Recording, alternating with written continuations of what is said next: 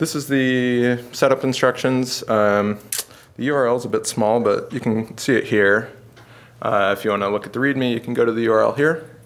Uh, there's instructions for Conda as well as other uh, Python distributions to get all the materials uh, for your local machine setup. So uh, if you want to start doing that, if you haven't already, uh, if you have already, maybe do a git pull in case there are some updates. And then, yeah, uh, if you have any troubles getting the environment set up, I'll come around and help you out. Hello, everybody. Good morning. Uh, this is the Dask tutorial for those that have ended up in the wrong place. Um,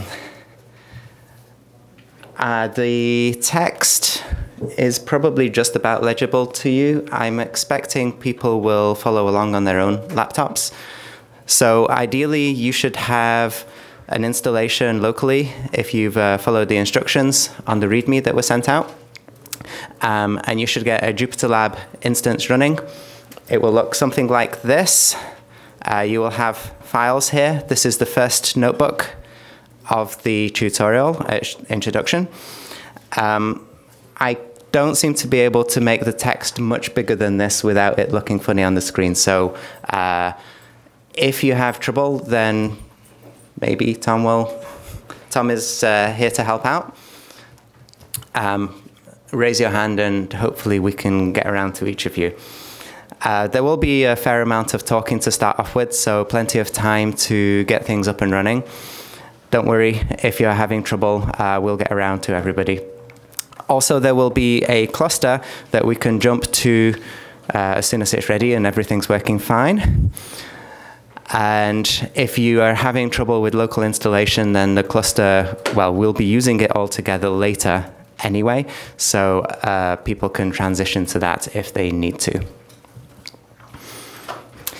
Um, for those people that are not used to uh, the notebook interface, there is code and text in here and the outputs of code. So we will be running through and executing things as we go, and you'll be able to see the outputs within here. Um, we will be running through a set of notebooks and demonstrating Dask from the ground up, all of the things hopefully that you're interested in. At any time you have a question about why did it happen like that or what's going on, just put your hands up. Uh, for a general question to the room and I'll answer. If you have a more specific problem like, hey, something's gone strange on my particular machine, then uh, try to get the attention of, there will be a couple of us in the audience uh, look, going around helping people. Okay, any, any questions or comments before we get going?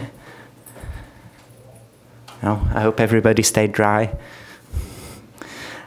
Okay, so um, the notebooks will have this common format.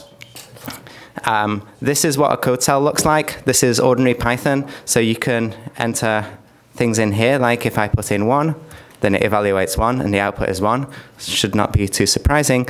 And there will be frequent exercises, which will say something like, hey, write some stuff to do with whatever we've just been talking about.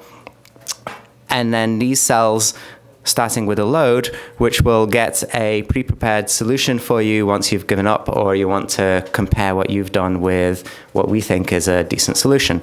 So in this case, the task is to have Python output hello world. I hope everybody knows how to do that. But just to demonstrate, you would load the solution and oh look, you say print hello world. If you execute this, and you can do that by shift and enter, which will execute and move on, or control and enter, which will execute and stay put. And here we have hello world. Okay, um, I, I, hope everybody is, is happy with this um, format. So I will move on. By the way, this is running locally. If you, uh, you should not have all of these weird things on your main screen, so just ignore that for now. Um, I will move to the first notebook and we'll actually get going. So now we'll be talking about Dask. Um, you will all have heard about Dask and you're here to find out how to use it. So there is a function in Dask called delayed. It is in some situations the only thing that you will need to know about Dask and you can use it to trivially parallelize all kinds of arbitrary code. So here we're going to uh, demonstrate uh, some simple things with delayed, and um, in breaks, maybe we can talk about how you can use that for some of your own code. Also, for those that are interested, there will be a Birds of a Feather session on Friday, I believe, for people who have had some experience with Dask to talk about that experience. You can come along and see how other people are using Dask. And also on Saturday, Sunday, there will be a code sprint around Dask if people feel like they want to contribute something because of what they've learned here. I'll be repeating those at the end of the session, so you don't need to remember them now. Okay, so let's get stuck in. Um, here is some ordinary Python code. This is simulating work. In fact, it's doing something very trivial. Here we're going to add one to the input. Here we're going to add together two inputs. And there is a sleep command in here to make it seem as if something is really happening. Okay, so now if we're going to add one to one and add one to two and then add up the two results because each of these functions has a sleep in, this is going to sleep once, sleep twice, sleep three times. It shouldn't be too much of a surprise how long this takes three seconds. Um, this again, I, I, won't point out the features of the notebook. I, I, expect that people generally know this, but in case you don't, this thing at the top of the cell just says measure the time it takes to do whatever is in the cell. In this case, three seconds. And Z will be the output of one plus one plus two plus one. So um, the delayed function, which is also a decorator, is a way of getting Dask to execute things in parallel for you without having to worry about how that actually happens. So there's a single function, dask.delayed. We're going to import it. And now, instead of calling inc of 1, we're going to call delayed of inc of 1, and so on.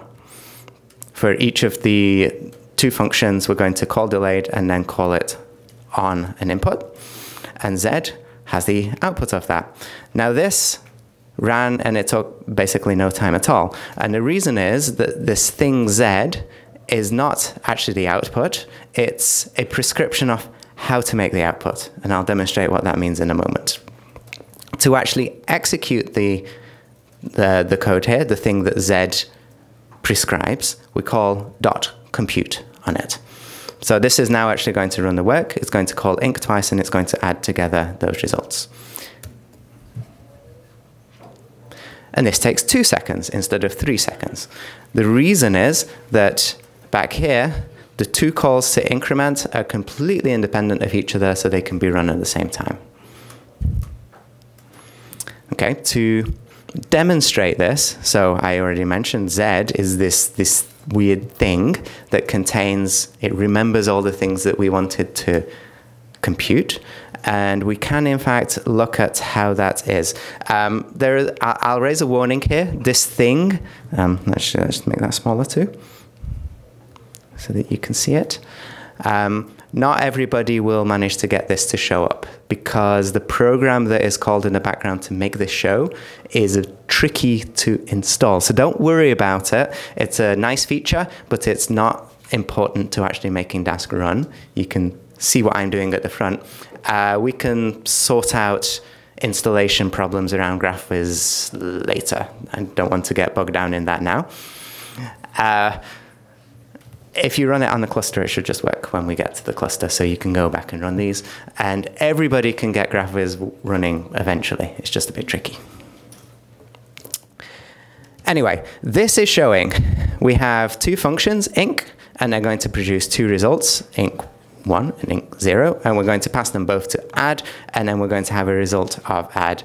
It's trivial to see from this that these two things down here, this processing of the inc function can happen in parallel, which is why it took a shorter amount of time. Any questions about what happened there? I know it's early and probably the coffee hasn't quite sunk in for everybody, but we want questions, we want discussion. Yes? For something like uh, seemingly trivial like this, um, is there really a big difference between what Dask is doing here and say if I did a similar thing maybe with Numba? Uh, did it with? Numba or, or some other parallelization? Uh, I don't want to talk about Numba because that's actually really complicated what that does in the background. Uh, but if you wanted to do this with a thread, then that would be totally fine. In fact, Dask here is using a thread pool. It's just providing a, a convenient syntax around making that happen. And really, the point of Dask is to take away that pain of having to write your own parallelism stuff uh, because it scales from trivial computations like this to rather complicated things. Okay, so um, we can have some more discussion in a moment because I'm going to introduce you to your first real exercise, which is we're going to have some data, a simple list of numbers like this. So let's execute that. Now we have some data. And we have a sum of 1 plus each of those. So we're going to take the numbers in turn, add one to them, put these numbers into a list, and then we're going to call the built-in function sum to add up that list. Um, because inc contains the sleep statement, again, it's going to sleep for each of these, so I'll set this going, and it should take 8 seconds. and it's running in a single thread, obviously. So it takes eight, eight, seconds plus a bit for actually calling sum and other things. And the result is 44. Okay, so uh, you've seen delayed. You're going to need to call it in some way. And I know it's early, but just a little touch of thinking should get you there here. And if you get stuck, then there is the solution that you can look at afterwards. And I'll give you actually 10 minutes for this to try out a couple of things. The result should be 44, and it should run in, in less time than 8. How fast it runs will depend on how many cores you have on your machine. In the meantime, further questions or, anything? Any thoughts? Has anybody succeeded? A few hands. Are some people still working on it? Nobody. Some people given up? Maybe. okay, so I will show you the solution. Um, it would not be surprising from what we've seen that you should probably have a delayed of inc. That's going to feature here. Now, how many people also did a delayed of sum? Most people. Okay. So uh, the solution looks the solution looks like this. So uh, inc has simply gone to delayed of inc, and sum has gone to delayed of sum, and nothing else has changed except to actually get an output you need dot compute. So if we run this, uh, should time this. The output is 44, as before. And it runs in one second because I have eight threads available on here. Uh, so all of the inc statements ran in parallel for my case. For your case, it might be different. Now, what would happen if sum was not delayed? It still works. Now, any guesses on why that is? So if we look at um, total, it looks like this. We're doing eight completely independent things. They produce um, results. They all go into this one function called sum. In other words, sum actually gets a, a, a list of numbers to add up. If I take away delayed here, did anybody try this? Okay, this gets a bit crazy. Okay, so what's going on here is the built-in implementation of sum works by taking the first two things and adding them together, and then taking the next thing and adding it onto the result. Delayed objects like this are clever enough that if you if you do delayed thing plus one, which in this case they were um, all called y, these things. If you do the first y plus the second y, and they both happen to be delayed, then Dask realizes this and it produces a delayed third thing that is those two things added together. So delayed objects, you can do lots of the normal things that you do with Dask objects and they will still remain lazy. They won't get evaluated. They'll just remember all of the things that you've done to them. So down here, we have the result of the first increment, and then we're, we're doing a, an, an implicit add on it with the output of the second one, and then more implicit adds as the built-in Python function is building up the result.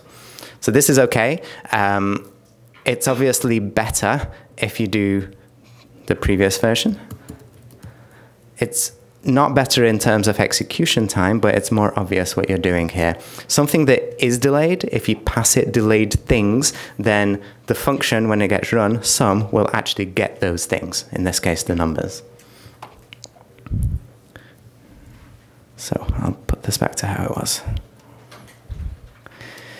Okay, so uh, a little more involved now. Um, the reason delayed is so useful and gets around some of the problems and quirks of working with threads and processes and things that people might be used to is that you can a just add them together and expect python to do the right thing like that but also you can involve logic in there and decide what to do. So um, here I've I, this is called flow control. And here is an example just to run straight to it. So we have something that is called double, again, simulating some work, and it's just going to do two times the value. And we have another, which is called is even, which will give true or false depending on whether x divides cleanly by 2, and some new data. And now we have a slightly more complicated computation in which we're going to go through our data and we're either going to double it or we're going to increment it and then we're going to sum the results up. So this is running sequentially in a single thread. So again, it should take uh, eight seconds.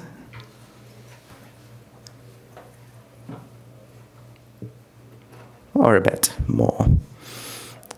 Um, and then we're going to, again, do the same thing. We're going to parallelize this using delayed.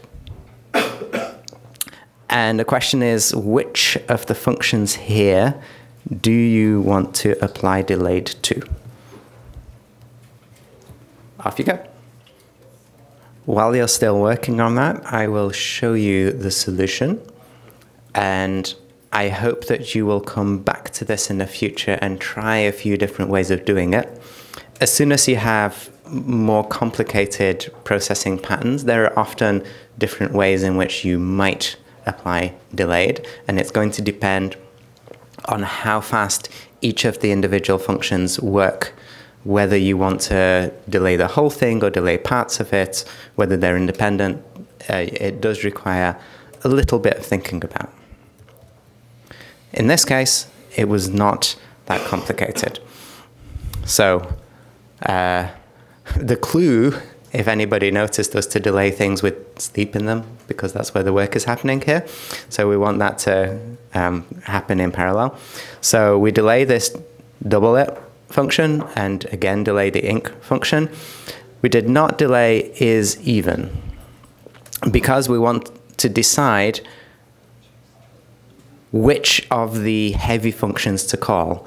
Calling is even takes essentially no time, so there's no point in delaying that.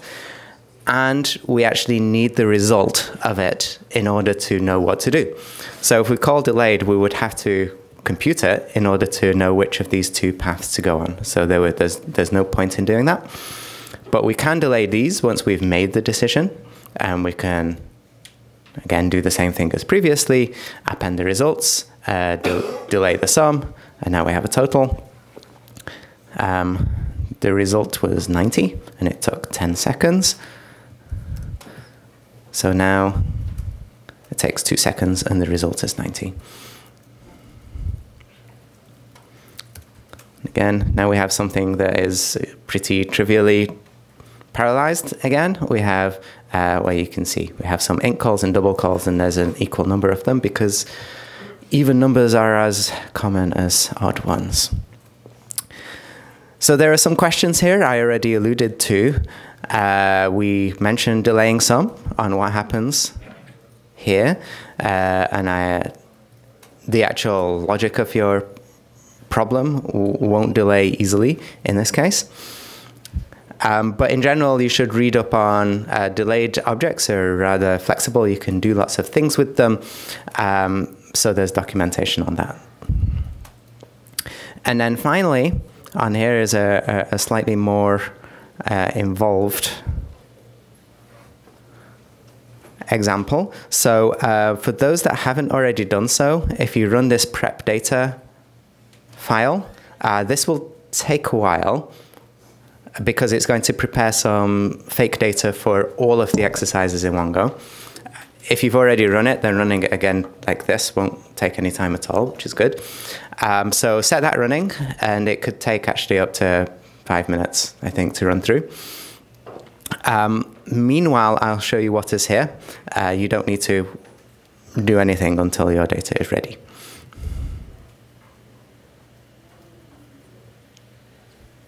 Oh, I am running some. Okay. In that case, this will take a, while, a little while for me too. I just saw this, but that was the first trivial part of it. Okay, so uh, what's happening here is that um, there's a data directory and it's being populated with various things that we're going to run through uh, for the different parts of this. And in order to make Dask interesting, this is a problem that we have to deal with all the time. There's not much point in parallelizing something that runs quickly, right? So instead of putting sleep statements in everywhere, um, we're going to actually deal with some rather large data. And the first one of these is going to be some, um, some uh, CSVs. Okay, they have arrived, uh, which are um, flights out of New York City. There are uh, three airports there and lots of flights for every year in the 90s. Um, I'm, I'm, sure you're all familiar with how a CSV file looks. We're not going to look at them yet. But we know if you've ever used pandas, and I, I expect most people here have at least seen it used, pandas is good at reading CSV and it does it in a tabular fashion. So here is here are some some rows from the first of those files, and you see there's lots of details about each of the flights. So um, so flights on the very first of January 1990, so that's when the data starts, with some times, uh, departure, arrival, whether it was late, what the carrier is, etc., etc. Lots of stuff here and we can look at what kind of data this is. Again, don't worry too much if you're not a regular Pandas user. There will be a section of this tutorial dedicated to Pandas-like functioning. Um, depending on the kind of, I, I, guess lots of people here are actually scientists at SciPy. Depending on what you're doing, uh, Pandas can be hugely useful. And Tom here is a core developer. I'm not. Um, okay, anyway, so uh, this particular data you see has many, many um, columns, and each one of them has an associated time. Most of them are numbers. Some of these, like the one that says uh, object here, is they're actually strings. So a string in, in Python is a, is a type of object. So there are a few of those. Okay, if we now this is, uh, if you remember, one of the files only. I can hear some some uh, laptop fans going, so other people are preparing data too. um, and computations with pandas for something that is sitting in memory is really fast. So pandas is great um, if you can fit your data in memory. Uh, you can, for example, do this. What are all the unique origin airports in this case? Uh, so these are the three New York City airports. And we can do various pandas-like things with them, which are sort of, if you don't know pandas, you probably do know SQL. So this is a SQL-like thing. I'm going to group by this, these three and look at the departure delays and get the means as a function of those groups. This runs in essentially no time. But what happens if you have a lot of files? So uh, there were 10 or 11 of these, I think. And we want to do the same thing, but we want to do it for all of the years. So we're going to do this thing, this, this group by thing, and we want to add them together. In fact, we want to do some kind of average. So we're going to have some sums, and we're going to have some counts so that we can do a mean afterwards. Um, the sequential way to do it, and I'm sure you've all done this kind of uh, computation in the past, we're going to loop through the file names, we're going to load each of the file, we're going to do the group, and then we're going to take the sum, and we're going to take the count, and then we're going to add up the sums and add up counts, and then at the end we're going to sum the sums, sum the counts, and then do a grand mean.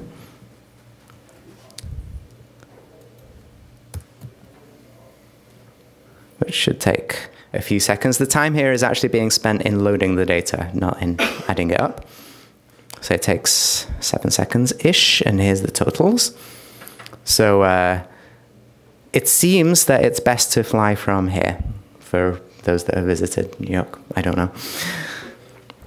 Okay, um, and we're going to go through how you would parallelize this. Again, this is closer to the kinds of things that you would actually do in your day-to-day work, handling data. And here it goes through um, some of the things that I already mentioned, that these delayed objects can do lots of things. So once we have a delayed object, then we can do things to that delayed object. So here we have um, built-in add, we have an item selector, and we have a method call on it. And if the thing that we started off with, which is just x here, is delayed, then everything here will be delayed. Y will be a delayed object too that encodes all of this.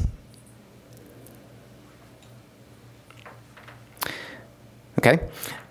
Uh, second, there is this dot compute that we've seen because we've only ever had a single output for each of the uh, computations we've done so far.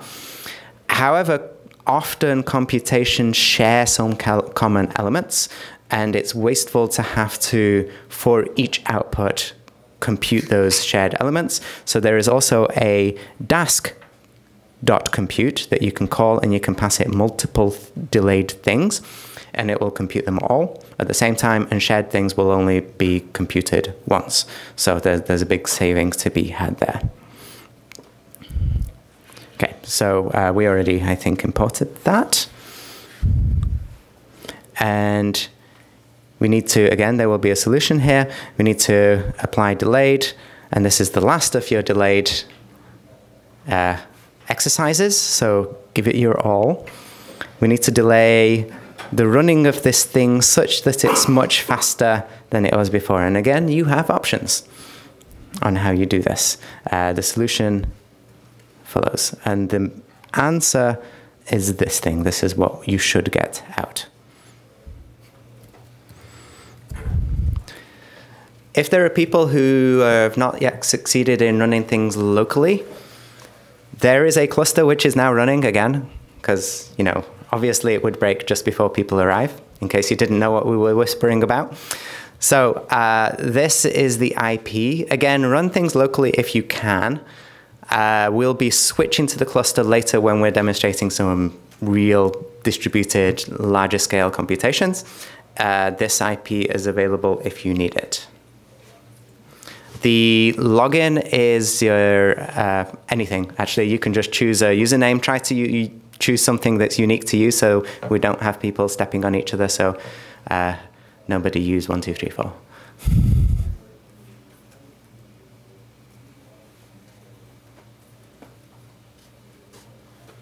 Do you want me to do data frames then? If you feel Take like a break, sure. I don't mind. Is data frames next? Um, Array. Arrays. yeah, so you can do arrays, I'll do data frames. Okay. Cool. I'm done. That's real quick.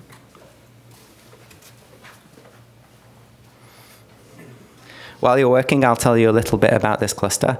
Aside from the fact that occasionally it breaks, which we think is down to Google and not the infrastructure we wrote, uh,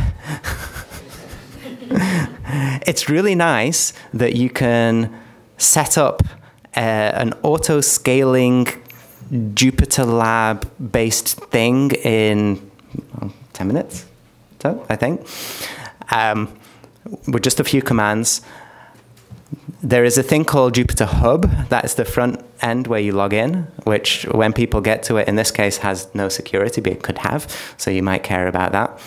And each person then gets their own unique Jupyter server within which you have your own unique workspaces. And as you'll see, it's trivial to set up uh, Dask clusters which are several virtual machines, uh, they're containers within the same uh, framework, which are unique to your workload, so it's isolated from everybody else. So if people are looking to teach Dask or want to make a scratch cluster for people to try Dask with reasonably heavy workloads, the, that kind of work, um, it's a very nice way to do it. There is a public use one called Pangeo, which is made for general scientific work. It's, it was created by a team that focuses on planetary science, um, including meteorology, for example, uh, Earth imaging, that kind of stuff. So, real science involving real data. And uh, people go on there all the time and they do heavy workloads using Dask and they produce results, which is uh, very nice. And anybody can use it if you have something that seems somewhat legitimate. For the time being, there's plenty of money. Eventually, they'll have to tighten it up. Okay, uh, getting back to this, so we'll finish off the delayed section. Um, I hope people have some kind of idea here. I will show you the solution in which we have delayed one function and nothing else. So the, we started off this particular section saying by, by saying that you can do lots of things to delayed things and they remain delayed. So that was the hint. Also, I hinted that typically you end up delaying the things that actually take time. In this case, that's the reading. And you don't need to do anything else. So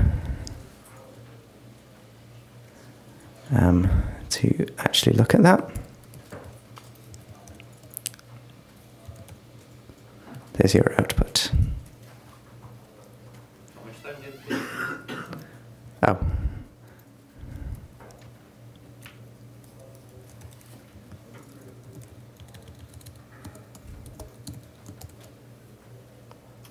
Uh, okay. Now completed immediately.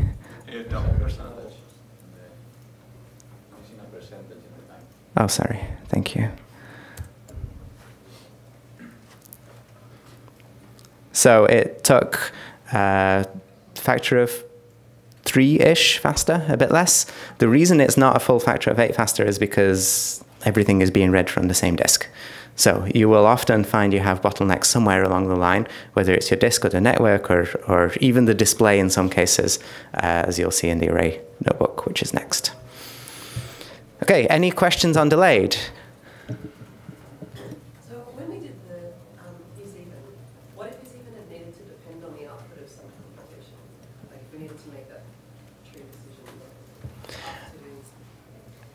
Uh, there are lots of things you could do. You could parallelize those things that is even needs and then got the result there and then did something based on it. And then you're keeping the logic in the in your session, in your normal process. Or you could form a function which inlines all of those things as well. And which you do will depend on, on what exactly it is. Yes?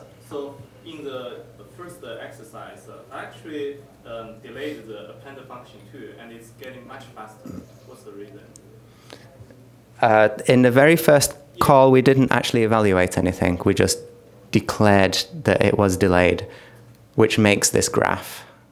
Uh, no, uh, sorry. Then the second, uh, there's a for loop, and there uh, like eight numbers, and then you do a and sum.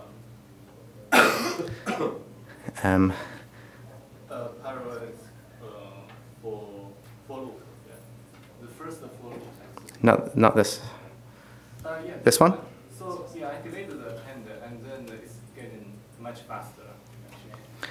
You delayed the append? Yeah, yeah, I don't know what's the reason.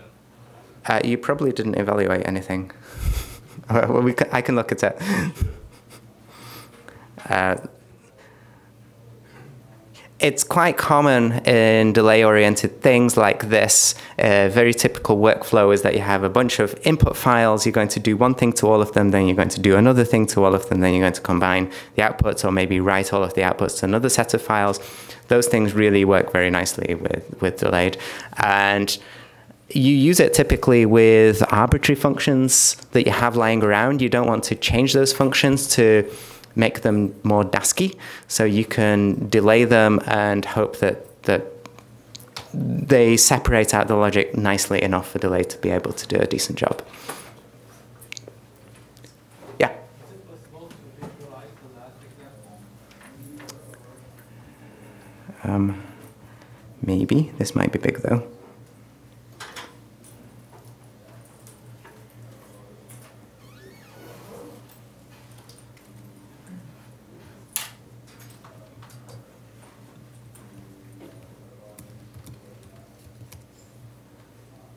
Where is, oh, here's my computer. So we have two things here that we could visualize. Sums, which is,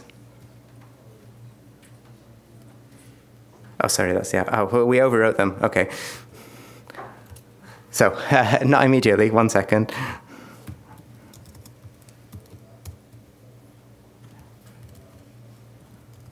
So now we have this, this list of delayed things. And we, so it's a list of delayed things. We can visualize any one of them.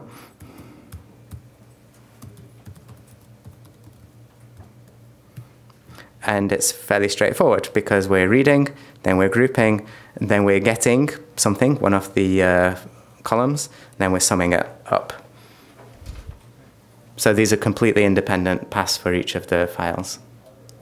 Uh, you are next. Okay, in my version, I didn't use uh, Dask compute. Um, for some, I didn't do the uh, combination sums and counts compute, and it ended up taking about the same amount of time. Mm-hmm. Uh, so I'm assuming it's just uh, the and um, multi-threading being uh, saturated.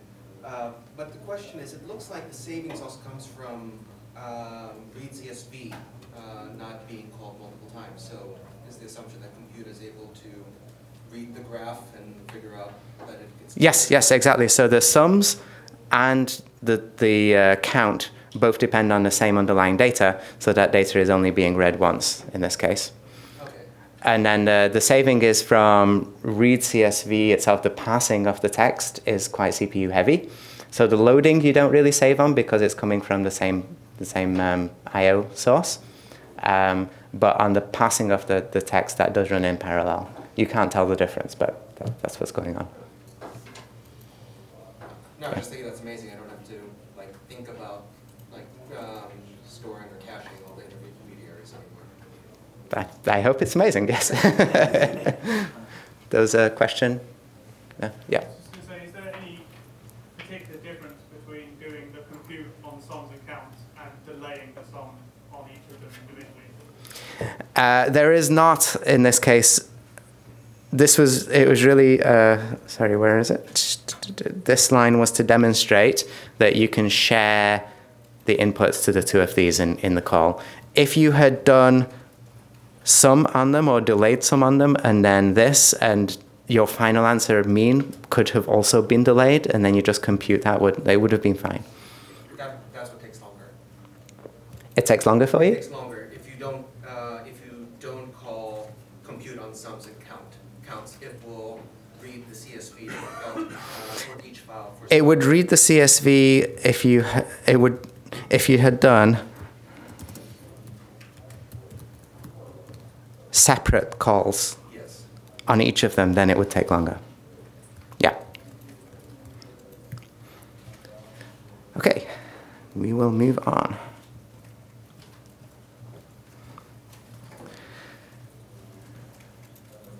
So, how many people in the room would consider themselves to be scientists? This is for my curiosity. Okay, More than half. Okay, I used to be a scientist. now I just pretend a bit. Um, my particular science was astrophysics. I used a lot of arrays in that time. Um, I never used pandas for research, but people love it. So uh, we'll get to that in a moment. First, we'll talk about arrays. Okay, and we're going to get to this kind of concept here, this image, which is you know what an NumPy array is. Even if you're using pandas, machine learning, whatever high level tools, you'll know what an array is. It's a bunch of numbers of the same type that are laid out in a nice way in memory so that you can do things to them in a very optimized way. NumPy is great, um, but NumPy at the very best can handle mem-mapped arrays sometimes, but really you want to be able to chunk up your computations so that you can do um, higher order things to them for data that doesn't fit in memory. You also get some speed up if you, uh, depending on the kind of computation you're doing, if you can run it in parallel. And finally, what we'll get to later in, in, the tutorial, you can spread your data out across a cluster so that you can fit a lot more in memory than you would have thought and actually be able to do things to it. So um, Dask has a way of accessing chunked set of NumPy arrays as if it was a single NumPy array, and it will feel the same, it will work the same, and in many cases, it will just work with something that doesn't fit in memory, and it will just make things faster, faster in the common case. Now it is parallel and there's lots of magic going on in the background, so uh, maybe we can touch on some cases where it doesn't do what you would like. Um, so the overview is like this. This whole block here is supposed to be a two-dimensional Dask array in memory. And we can split it up so that each of these smaller pieces is an actual NumPy array somewhere. Maybe it's a NumPy array that needs to be loaded yet, or it's a NumPy array that resides on a different computer, or however it is, Dasks will, will do that marshalling for you. But um, you can understand that you can process an array in chunks and then uh, view the whole thing as a single logical array by doing that. So we're going to demonstrate some of these things if what I said wasn't too clear. Um, but first we'll look at the idea of, of chunking up your computation in general. This is the kind of thing that you might already be doing before using Dask, perhaps with threads or perhaps just in a for loop because the data is too big to hold in memory at once. Uh, so we're going to make a really big array and we're going to add it up. Okay. Um, if you ran the prep script, then you will have some large file on disk called random and it is made of random numbers, as the name suggests. And let's see, I should find out how big it is.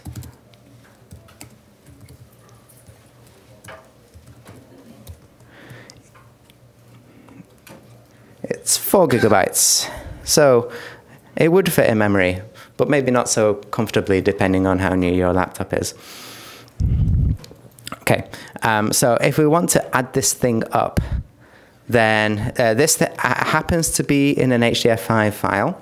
There are lots of different ways of storing data on disk. HDF is pretty common in scientific contexts.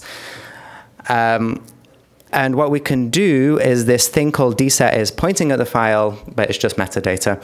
You can access pieces of the data like this using normal NumPy um, indexing.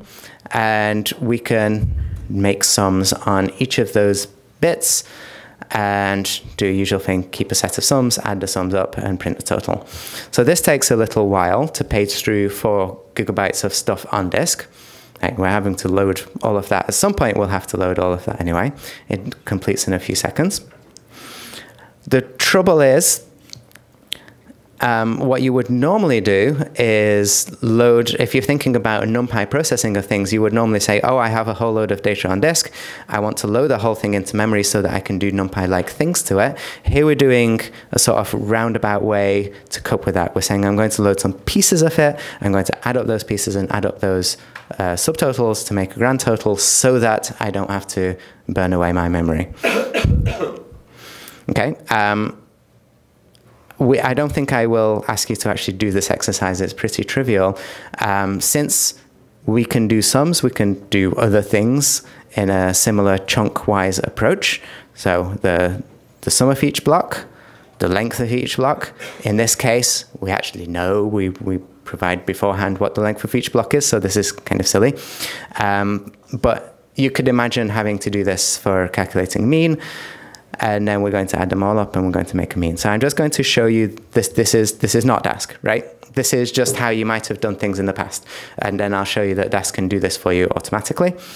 Um, again, you page through these pieces. Um, you add the sums, you get the sizes, you accumulate all these pieces, you add them up, you get a grand total. And I, I believe the total should be about one. Yeah, because it's random numbers that are normally distributed about one, I guess. Um, but Dask has an array module that does stuff like this for you. In particular, we're going to create a Dask.array, and we're going to use this function. Uh, if you look in the Dask array, a Dask array is usually abbreviated DA. If you look in the Dask array namespace, you will find a lot of familiar looking things from NumPy, like uh, zeros, ones, random, that kind of thing for generating data. Uh, there are some ways of loading data also.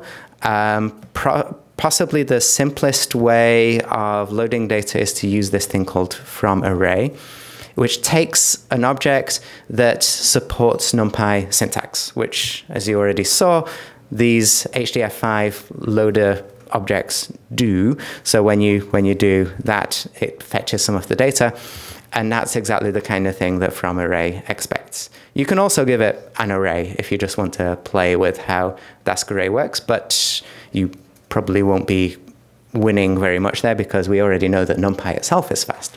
If you can fit it in memory without worrying about it, then maybe um, you don't need Dask array in those cases. So we say that we're going to load from this object, which points to the file on disk. And the only thing that we need to tell Dask is how big we would like the pieces to be.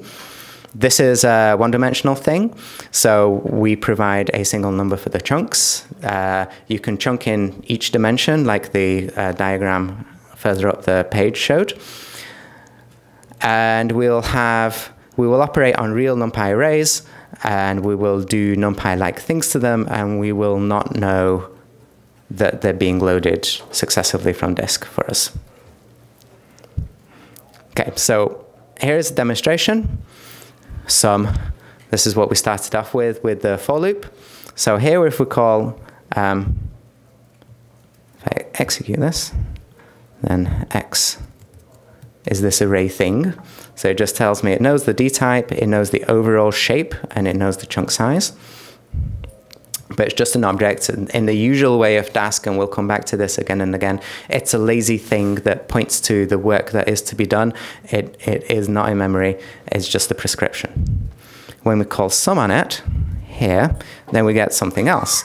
This now, it's another array, but it has a name aggregate. It has a shape of, of nothing because it's just going to be a number, but we do know that it's float, and because it has no shape, it has no chunk size. And again, you see the themes coming back to actually make this happen. We call compute. And there's our answer, which is the same answer as before. This is the sum, not the mean. The mean is 1, I think. Um, so it's very convenient to be able to just call dot sum, not have to write for loops to pass through your chunks. But that's really what's happening in the, in the background. Okay, so uh, I jumped over the trivial how do you actually compute the mean because there's a really, really easy way to compute the mean of a Dask array, and I hope that everybody can do it in 10 seconds. I'm counting.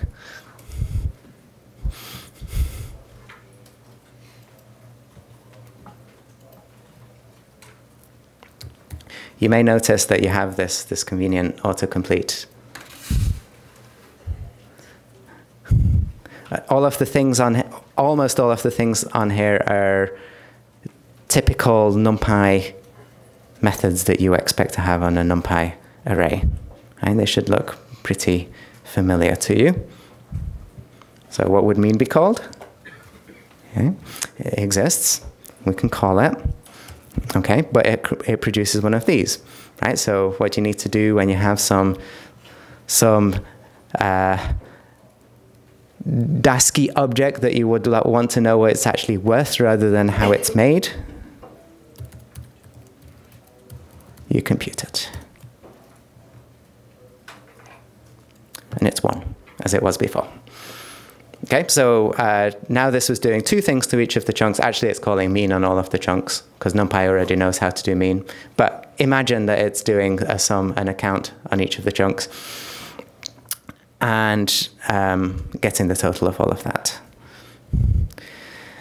Okay, um, a bit of, a, of an aside, uh, NumPy is good at, at um, not holding the GIL. We mentioned the GIL before. If anybody doesn't know what the GIL is, we don't need to talk about it now. But uh, NumPy works fairly well with um, running things in threads. Uh, NumPy is fast anyway. Uh, obviously, Dask has some overhead for whatever you're doing. So something that would be really fast in NumPy, you don't want to bother. But for many things, if they're like this and they're heavy on memory, or they're actually really heavy on CPU usage, then it's often worthwhile calling the Dask version of whatever it is that you would have been doing in NumPy. Okay, so we're going to go into uh, an example here.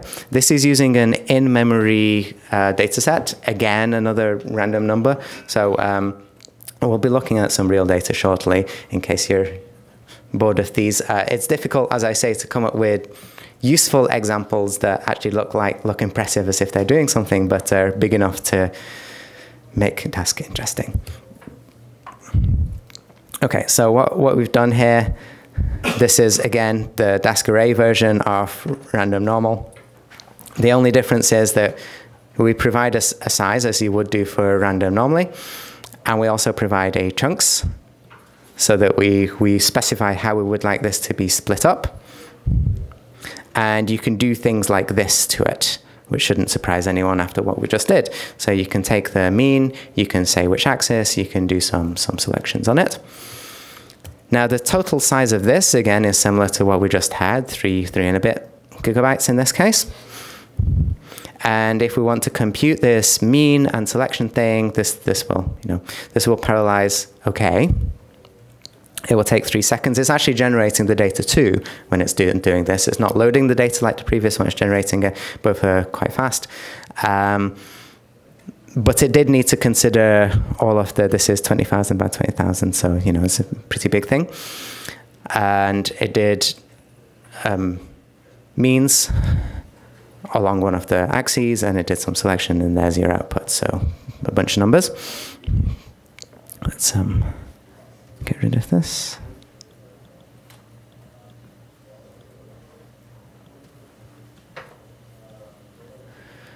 Okay, now we're going to talk about this rather than do it. Um, you can experiment at your own leisure. So uh, first of all, it's it's good that uh, we don't have to create this thing in memory and then do NumPy things to it. Although we could, certainly on this laptop, um, on all laptops that you might have bought within the past few years. Uh, but NumPy takes a while because it's running in a single thread and it needs a lot of memory to do it because the whole thing is in memory at one go. Uh, Dask says it should have taken four seconds. How long did it actually take me? Three. Okay, close enough. Um, Dask in this case is faster and it takes a lot less memory because it's working on the, the chunks independently. There are quite a few chunks here. Okay, so, uh, so there are some questions here, and uh, these are actual questions that I'm going to ask you. We could have specified different things to chunks, uh, remembering the overall size was 20,000 to 20,000. So, um, any idea what would happen if we said this?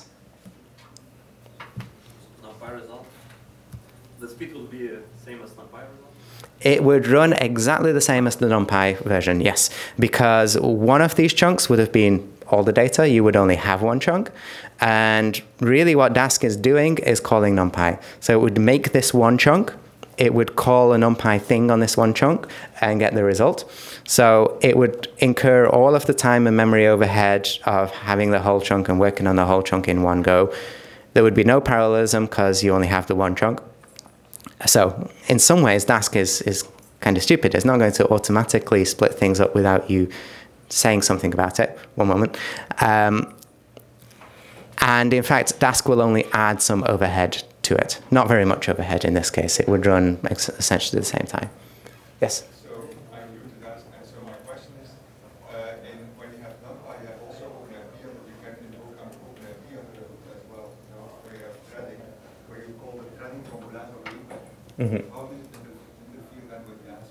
Uh, it is possible to oversubscribe threads, yes.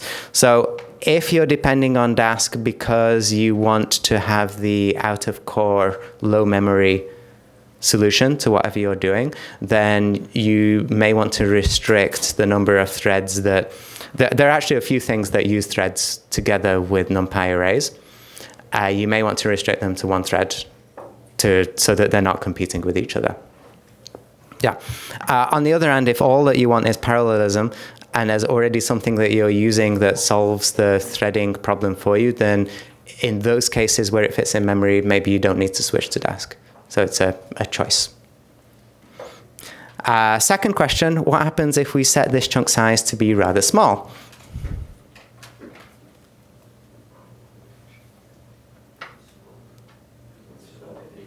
will take longer because of the overhead of Dask? Yes, I didn't see who said that, but yes, it's, uh, that's quite right. So in this case, the time spent on calculating the uh, sum and size of each of the pieces is very, very fast because NumPy is an optimized thing. And the overhead associated with Dask's part of deciding which to call and setting up all those things becomes important. And it uh, so the total amount of time taken will be much higher. Another way of thinking about it is that the total number of chunks, and therefore the total number of function calls that this will involve, will be massive. And each of those function calls requires some time to happen. Uh, there is a minimum time even for the simplest of computations. And so the, the total time taken will be very large. Also, the graph, so the prescription of how you go about doing this computation will be very large and the graph itself will take up a lot of memory, which is something that it will take a lot of time to create and take up a lot of memory, which is something that people often don't think about, but it's worth keeping in mind. Okay, um, if you run prep, then this should run very quickly. I'm going to demonstrate some real data. So again, this is HDF5 data in this, this folder called WeatherBig, which is, I believe, actually rather big. Again, let's find out just how big.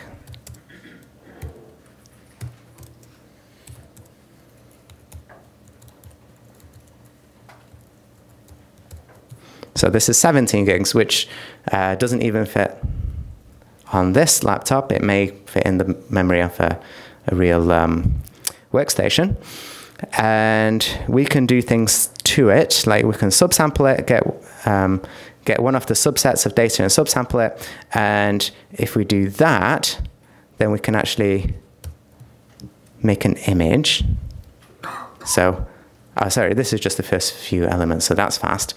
But if we actually want to read the whole one of one of these data sets, and subsample it so that we can make an image out of it. Otherwise, Matplotlib would choke. But this still takes a while just to create an image out of one of the pieces of the dataset. So this gives you an idea that this data now is, is fairly hard work. And it looks like this. So this is um, temperature.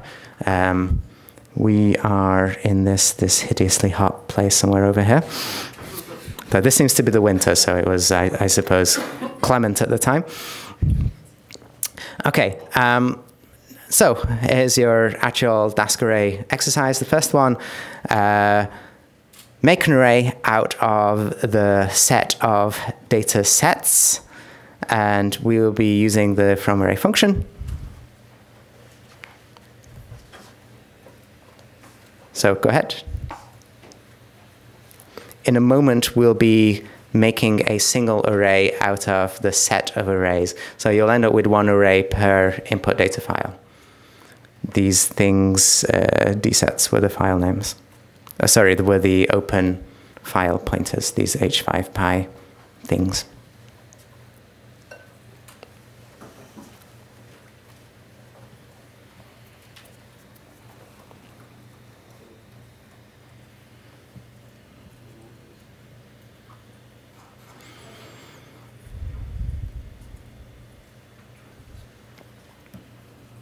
We'll be having a break in 10 minutes so that you can all get coffee and snacks before they take them away.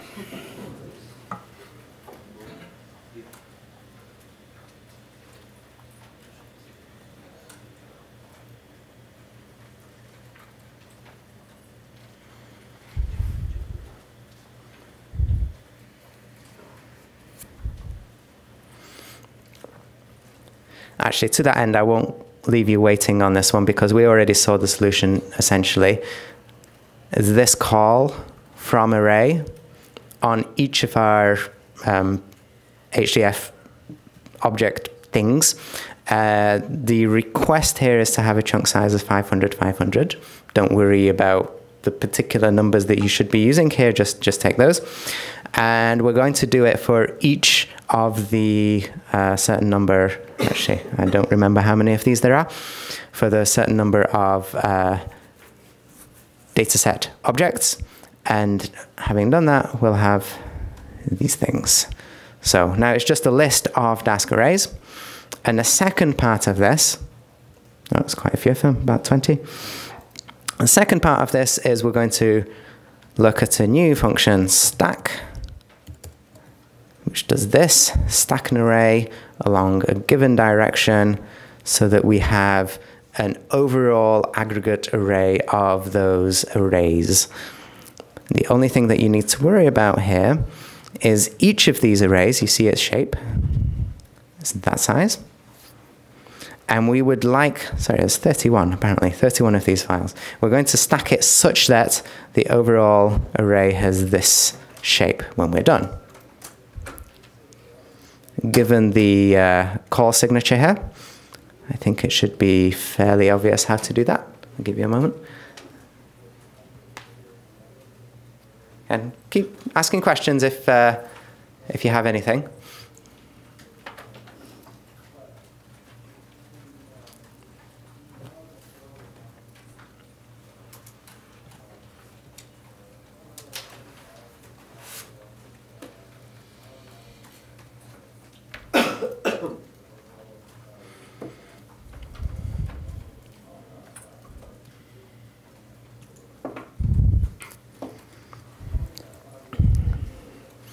Okay, and it should look like this. So the thing that we made conveniently was a list of arrays. The thing that da.stack needs is a list of arrays. And there are 31 of them, and we're told that we're going to need something that's 31 and the rest of it. So axis 0 is the direction in which we want to stack this. Okay, and now we have this thing. So this is rather, this is the full 17 gigs being referenced as a single object on which you can do normal NumPy things, and it will, anything like that will be computed chunk by chunk from each of the set of files in a way that you don't need to worry about how that actually is achieved. Uh, computations will be in parallel, but you still need to hit the disk, so things will run slowly. There are a couple of exercises here. I think this is a good time to break so that uh, you can refuel. Um, I would like you to try these exercises, possibly get some coffee and then try the exercises, and we'll start again at about half past.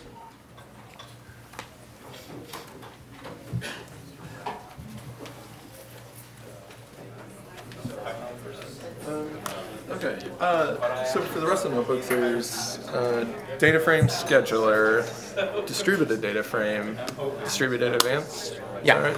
Yeah, machine those- learning, we never get to the end. Yeah. That's, that's yours. Yeah, yeah, yeah, if we get there. Uh, is there some that you want out of that? I honestly don't think we'll get there even if, well, four hours is too long. I don't Yeah. think we'll. Yeah. Okay. Hey, I was wondering, if that's distributed Jupyter that you mentioned, are you going to be talking about that? Uh, we can talk about it. Uh, so it's dask, github.com slash dask slash dask dash tutorial dash infrastructure. That has the setup, and then all, that'll like point you towards Pangeo, which is the project that did all of that. So Yeah, if you do search on Pangeo, just Pangeo, probably Pangeo data. Uh, yeah. yeah, there's a fair amount of information there on how you would go about doing your own if you don't want to follow our specific Yeah. setup. Ours is very specific to Google Cloud Platform, which is where it's all running. But if you have like an HPC cluster or something, then there's research. Okay, perfect. Yeah, so I would go straight to Pangeo uh, data, and there are people have done it on a bunch of systems. Um, yeah, Yeah, and most of it is Jupyter Hub. Yeah. Really, that's that's how this works. So, uh, have you had any direct code on, in there? Uh, no, no. Uh, it's just configuration of Jupyter Hub, so it's, it's nice. yeah, yeah, yeah. So people were needing this. Oh yeah, one person was asking. I think you got it. You're good. Uh, so yeah, you can go back. Okay. Uh, the IP of the cluster is up in front of you in case uh, you're having some local troubles. Uh, some people seem to have had corruption in their HDF5 files for some reason. It's not very important. You can go back and recreate them and redo this at your own time anyway. Um, as people are filing in, I will uh, show these, which are fairly straightforward. Um, but I don't think I'll actually, well, all right, I'll run it. This takes a little while. So there are two things here. One of them was the mean along a particular axis. The axis here is between data sets. They're uh, um, at separate times. I actually don't know what the timescale is. Don't ask me about the data. It's just pretty for showing to you people.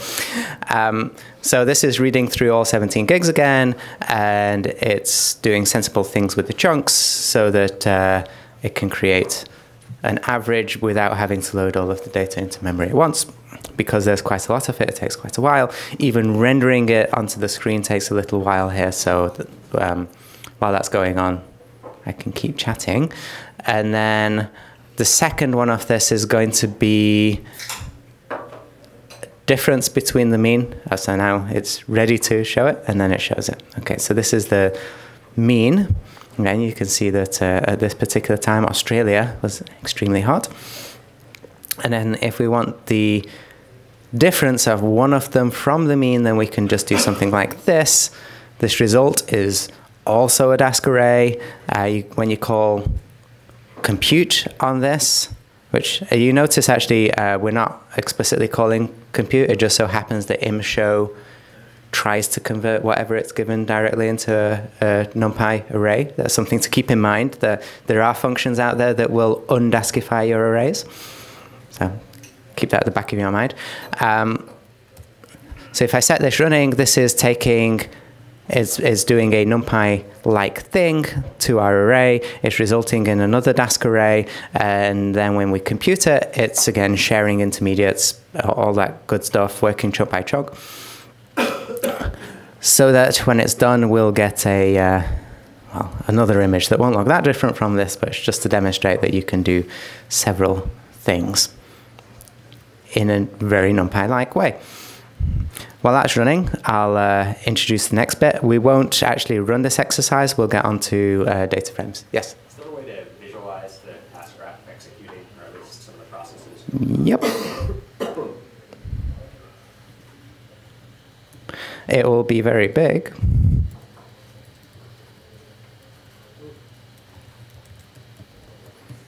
First, I'll have to wait for it to compute. You can do this uh, if you have GraphViz running, which we, we didn't get to yet, um, then, ah, here we go. Okay, so um, on this particular day or whatever it was, uh, compared to the overall mean of this data, it was very cold in Canada and hot in the Gobi Desert.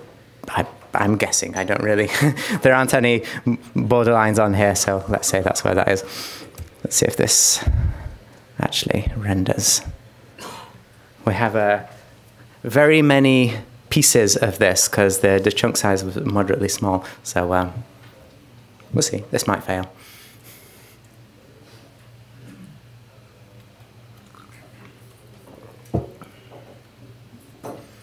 The final part of this is going to be, uh, so if we make this, we can also store it. This is something that you will commonly want to do.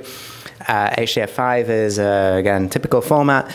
I'll also like to mention a data format called Zarr, which I, I personally like very much, which is very convenient for working with Dask because the individual data pieces are stored in separate files. Um, so it works very nicely with storing your data to remote services like S3 um, and accessing it in parallel with Dask. So um, I encourage you to look that up. Not many people use it, so it's not very good as a data interchange format, but, but maybe it's uh, convenient for you. No, I don't think this is going to complete. Yeah, um, so it's too big. uh, there are limits to, to what uh, GraphViz can do. Uh, it is just a, a, a, Unix utility. It probably would have visualized okay. We'll get onto the um, distributed scheduler, and it comes with its own dashboard. And that also visualizes graphs in a rather more simple fashion than what GraphViz does it. I'm, I'm sure it would have shown up okay on there. Okay, this is quite long. All right, so um, I'll, I'll, go through the, the rest of this notebook quite quickly. So uh, yes, you can store these, and I'll just show you the code of how you would do it.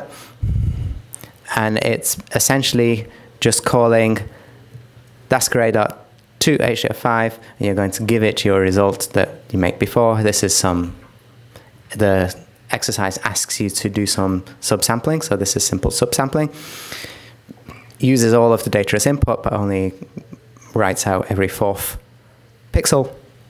Uh, to HDF5, you give it a file name and it goes. And you don't need to worry about the chunks or anything like that. It's all handled for you. And then the final part, which is actual physics, uh, here is the physics. We have some um, 1 over r to the 6 and 1 over r cubed this is a particle-particle interaction. Um, if you're not into physics, that's fine. Uh, the, the, the point of this is that uh, it takes a while because if you have lots of particles, then particle-particle interaction has to be between every single pair of them. There's quite a lot of them. Uh, so the, the basic, the, this is a value of the potential energy of the system. Don't worry about it. That's what, that's what it is, you can believe me. And it takes this long. And if you run this, which I won't bother now for the sake of time, I think I'll just wrap up this array stuff, you will notice that of all these functions that are required to actually um, compute this value, the thing that takes the most time happens to be this one, because we're doing some kind of fancy NumPy things to calculate the set of clusters here, set of clusters there, and find the, the pairwise um, differences between all of them. That is the distances between every pair of particles, which you then use to calculate the potential. So that's what takes the time, and uh, that's the bit that Dask will want to parallelize. Okay. And to do it, the only thing that we need to do is, again, cluster is our input. It's an array. We turn it into Dask array by saying from array. We assign some chunks. Uh, in this case, we're explicitly saying chop it up into however many CPUs we have so that we can run those separate chunks all in parallel. Uh, they're all independent of each other. And uh, this runs in a fraction of the time. It was five and a half seconds here it's one second, so good speed up there. Um, and some general text about when Dask array might fail. I read, leave this for you to read again. Um, there's a lot of detail here. If you have array heavy workloads, then I encourage you to read this in detail. Of course, the documentation has a specific array section to it that you should look at. Um, part of the reason that this is complicated is because there are already many optimizations under the hood, um, some of which use CPU-wise tricks that when you split the data into sections, those tricks go away. So it's possible to have worse performance in Dask than it would be in something that is heavily optimized to knowing how to handle your CPU cache or something like that. Okay, so I will stop there and hand over to Tom, who will take you through data frames. Were there, before I close this, any last questions on arrays? Yeah, I have a question over here. It's the, the, the chunks parameter seems to be pretty Mm -hmm. So do you, do you have any rules of thumb for, for doing that, or you just kind of tinkering and seeing, finding a nice balance for your particular... uh, benchmarking is always a good idea for whatever you're doing. Uh, the rule of thumb is that the time to process each chunk should be significant compared to the Dask overhead, which on the, the simple thread-based scheduler that we're using here is of the order uh, hundreds of microseconds. A couple of, it's, it's small, but NumPy is fast. Um, another rule of thumb, if you're doing something that is memory heavy, is you don't want, but whenever you do something with NumPy, you tend to have intermediates created as you go. So whenever you add together two NumPy arrays, you usually have some temporary array that you fill in with them. So um, if you have several threads that are running, eight typically, or something like that, uh, if each thread has a chunk, an input chunk, or multiple input arrays that it's working on, each of those will have several copies. So it's worthwhile to have things of the order 100 megabytes is a, is a, a good place to aim for so that you don't run out of memory while you do these things. Also, it depends in which direction you mean to do your computation. So if you're taking means or whatever it is along particular directions of your array, then uh, it, it can make sense to set your chunks that way. On that vague comment, can you just set chunks based on memory uh, guideline? Sorry? Is there a way to directly specify what chunks in terms of half gig size? Uh, there, there is recently a, a magic rechunk which will aim for a, a, a target memory size. So, so yes, there, there is such a thing. Um, in most cases, though, you know the data type that you're dealing with, so um, you, you, can figure it out also. There is, the startup chunks to thing like random does already support that. I think so. It did go all the way through. Yeah, I, I, am pretty sure that we just put it in so that uh, we were using random here. The chunks parameter there, you can have um, auto in there. So you need to, you typically need to specify something. Uh, don't just leave it completely up, but it could be interesting to see what automatic does for you. Is it possible to use Dask with a C extension that operates with NumPy arrays? Uh, yeah, NumPy itself is already a C extension. And so, yes, anything that Python can do, Dask can do. The things that you don't want to do is alter the values of arrays in place. Um, generally across Dask, most Dask things expect you to give an input, produce an output uh, separately. And generally speaking, you should always try and keep away from mutation in place.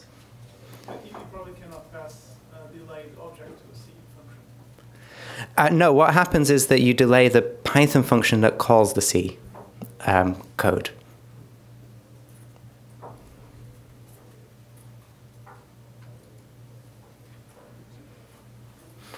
Okay, so we'll move on.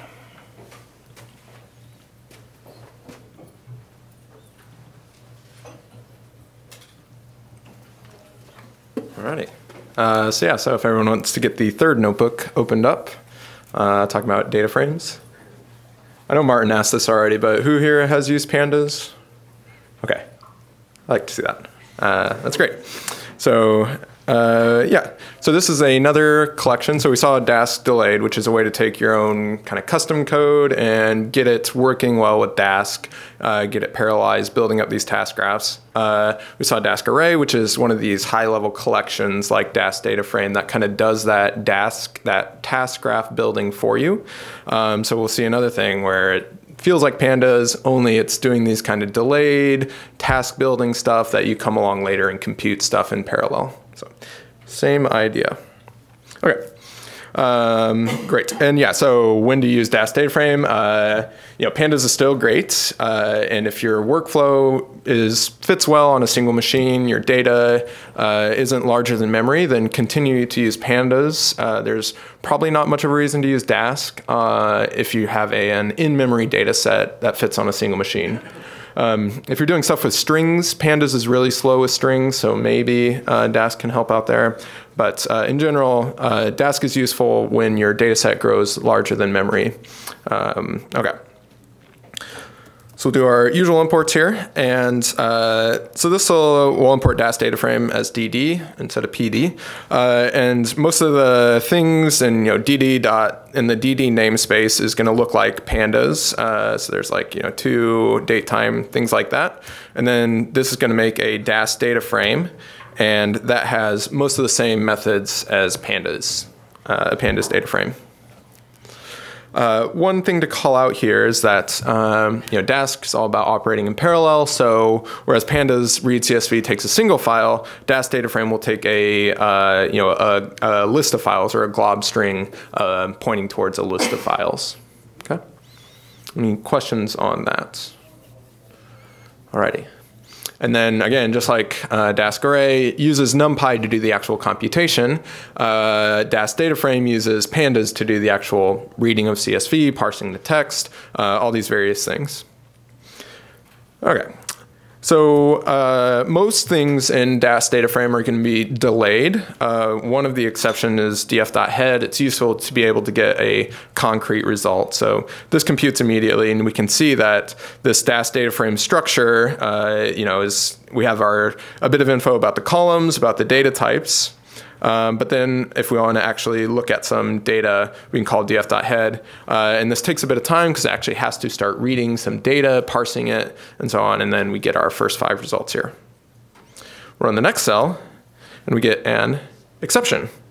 Um, so I think if you scroll down to the bottom here, there's some intermediate Dask code here that's a bit ugly. But if you go all the way down to the bottom, you'll see this nice little uh, uh, exception message here telling you is, is exactly what went wrong. So we have this collection of files. Uh, CSV files don't have types associated with them, so pandas just tries to infer. Uh, Dask leaves all that to pandas, uh, and we run into the situation where the inference for the first file uh, inferred something different from the uh, pandas inference for the last file. So we get this type mismatch. This would happen if you were using pandas by itself. Uh, only Dask is checking it for you. Okay, so how would you solve this with pandas? Yeah, exactly. So pandas has a D-type keyword, um, which we'll scroll on. Oh yeah, so it's, so the exact error is that, uh, yeah, it's a fun one. Um, there's a couple for like this first one. Uh, pandas doesn't currently have integer uh, NA support, so uh, pandas marks missing values as np.nan, which is a float. If you have a column of integers and one missing value, it's going to become a column of floats. Uh, this is being worked on soon. Uh, it may be merged today, actually. So uh, optional, uh, but yeah, it may be merged today. Um, anyway, so for now, uh, we, we just have to deal with this by saying, oh, this column, you know, it's actually floats since there are missing values. Maybe there weren't any missing values in the first set and there were some in the last one and that's what messed it up. Uh, similar sort of thing here. So we'll just be explicit about our D types. Okay. So we'll specify these exactly, and then uh, tail will now succeed. This is uh, important when you're working with multiple sources of data where you want to basically um, you know, remove all the inference because that can very easily go wrong if you have multiple files or switch to a better file format. Okay. Uh, all right, so earlier in the Dask delayed notebook, we saw an example. Um, I think we're going to do the exact same thing, uh, um, only using Dask data frame now. So usually you won't use Dask delayed and Dask data frame together. Uh, typically it's one or the other. You might use Dask delayed to do some pre-processing of your data. You know that's very you know special uh, for your data set uh, and then convert it to a Dask data frame from there. But once you have a Dask data frame, you're not going to be delaying functions on it. Okay, so in this case, we want to uh, compute the maximum delay over the entire data set. Um, so we can go ahead and run that.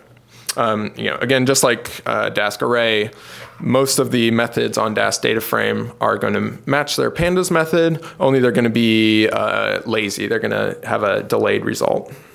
Okay, so uh, I think this is in minutes, seconds. Uh, yeah, I think it's in minutes. That's a long delay. Um, okay, so this would be the delayed results, uh, dd.scalar. We know it's a, a you know single value result that we can then compute. Any questions on that? Yeah. Yeah, I still had an error with the Okay. Uh, the value areas cannot safely convert parts, uh, sorry, past user D-type rule or sixty-four D-type data. Interesting. Um, hmm. If you change this, uh, was it canceled? I assume. Uh, the canceled this uh, this column. You could try int here. Um, you're on a Mac. That's strange. Um, I mean, that's coming directly from pandas. Yeah, yeah, it could be. Um, you can check that with. Uh, have we imported PD? Whoops. You can check your version. I'm on 0.23. Um, that could be. Um, otherwise, you could try changing this to an int, which will mess up things later on. So you do something like uh, df of uh, canceled equal to df dot canceled dot as type bool. This might work for you. Yeah. I have the latest pandas version. Uh, It may be uh, encoding if any Yeah. text editor has touched it. could be. Could be. can change the encoding. You could try this as well. So change bool to int, uh, and then as type it. That might work. Might not, but worth a shot. So, I mean, you can see, you know, Dask data frame. This is how if you if you had this issue in pandas, you would solve it exactly this way. Same thing with Dask data frame for most things. All right. Anyone else having any troubles? Uh, I'm gonna change that back to bool. Okay. Um, and just to see what Dask is doing here, same thing. We have this visualize method available on all the delayed results. So uh, the I/O, there's uh, some number of files here. I'm not sure how many, um, and all the I/O can happen in parallel. So well, you know, depending on your disk, uh, if you had multiple disks, it'd be even better. But uh, could, in theory, happen in parallel. All the parsing of these bytes into actual uh, uh, you know, stuff that Pandas does into a data frame that can happen in parallel. And then there's a bit of uh, intermediate uh, maxes that can be taken, and then you take the max of the maxes, and that's yeah, that's your result. So this is again something you could do with a bit of effort by looping over the files and then having like an intermediate uh, list of maxes and then doing the max at the end. You could do this yourself. Uh, it just gets tedious doing that for every pandas method.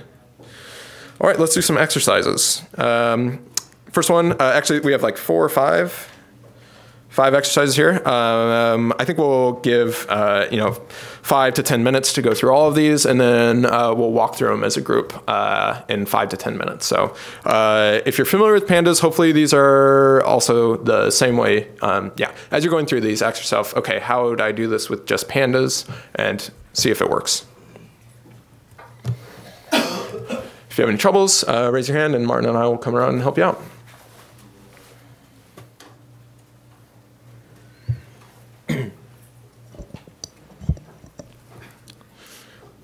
There was a question earlier about the return type of uh, you know, like when I, whenever I do dot compute, what's that going to be? Uh, so in this case, if I call df dot compute, what's what type is this going to return? Pandas data frame, right? So it's going to be like the in-memory counterpart of whatever it's uh, you know uh, standing in for. Uh, so if you have like a big Dask array dot compute, you're going to get that back. Uh, so so this would be you know a large-ish. I can't remember how big the full data set is, but this would be the full data set in memory. Uh, so you always have to be careful about that. Typically what you do is do some operations on this to filter it down to something that does fit in memory and then compute on that. Okay, so how many rows are in our data set? Uh, how would you do this with pandas? There's two ways, probably. You'd do shape. This would uh, not give you what you want. Uh, it's going to shortly have uh, a shape attribute. Um, this kind of hints at um, an issue with Dask data frame. I'm not sure how best to say it, but uh, what's, I'll talk about it in a second. What's the other way you would do it with pandas? Length, yes. So we'll do len df. You notice that this takes a bit of time. What do you think is happening right now? Yeah, so we're having to remember Dask data frame is lazy. We just have like these kind of you know tasks to do. You, you know, at some point in the future, when I require it, read in the CSV, parse it into a pandas data frame. Okay, so we're doing that uh, when we call len. So Dask data frame doesn't know like statically ahead of time how long your data frame is. To compute the length, it actually takes some time. You have to go through your entire data set. Which, if you think about it, for like a CSV, there's no way to tell how long a CSV is without actually reading it, right? Some storage formats do write their sizes, uh, like Parquet, you can get to that, but for something like CSV, there's no way to tell ahead of time. Um, that contrasts with something like Dask Array. Um, here's the auto we were talking about earlier. We make this uh, large Dask array. Uh, computing the length of x is immediate. So Dask array does know its length most of the time, unless you do something like uh, you know x of x of zero greater than 0.5. At this point, um, that doesn't work because I don't know why. We'll ignore that. Uh, x of x of zero. Whoops. What shape is that? Greater than 0.5.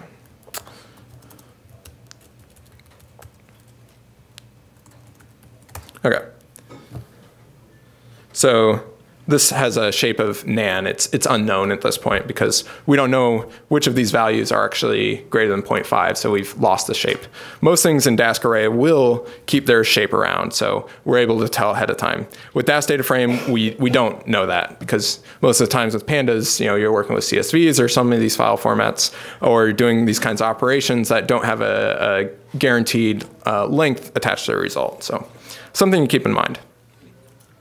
Uh, in the future, df.shape will return, uh, you know, like np.nan and then len of df.columns. There's a pull request that does this right now. Okay, uh, Boolean indexing. So uh, number of non-canceled flights. What did people do here? Boolean indexing, we're going to have, uh, first of all, let's do df.canceled is the column that we're looking at. Um, this is, uh, we'll take a look at the first five rows. It should be a Boolean. And with pandas, you can pass that into that. So this filters it down, and then we can compute the length of that. And again, uh, this is you know, having to read the data in at this point. Read the data in, do the filtering, and then do the length computation in parallel. Questions on those first two? Isn't this a number of canceled flights and not non-canceled? Uh, I believe so. Whoops. Sorry.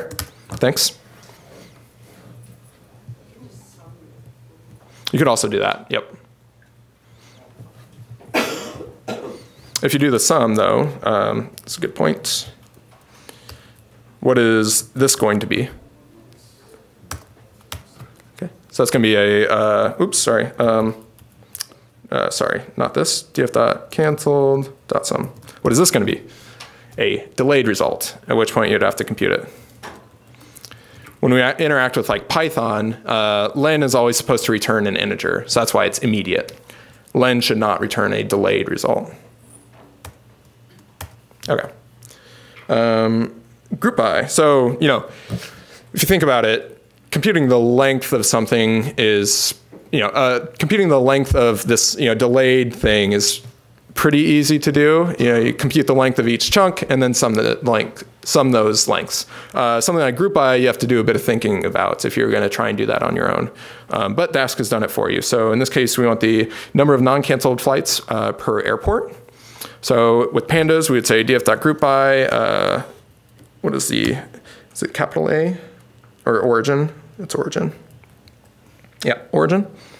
Um, and then we'll say the, um, I think uh, pandas, anyway, we'll filter it down. Uh, df.canceled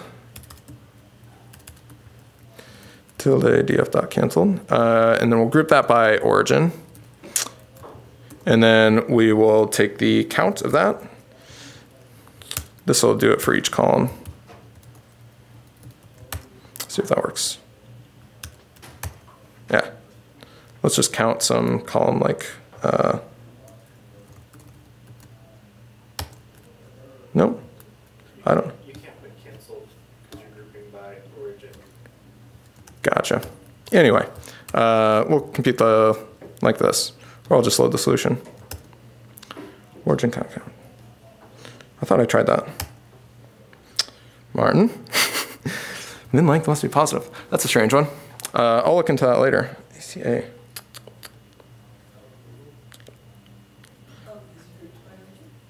Yeah, uh, Pandas is supposed to do that. Is like one of my least favorite parts of Pandas API. It's like you're repeating origin, um, but I'm just going to do it my way. Uh, so we'll group by origin.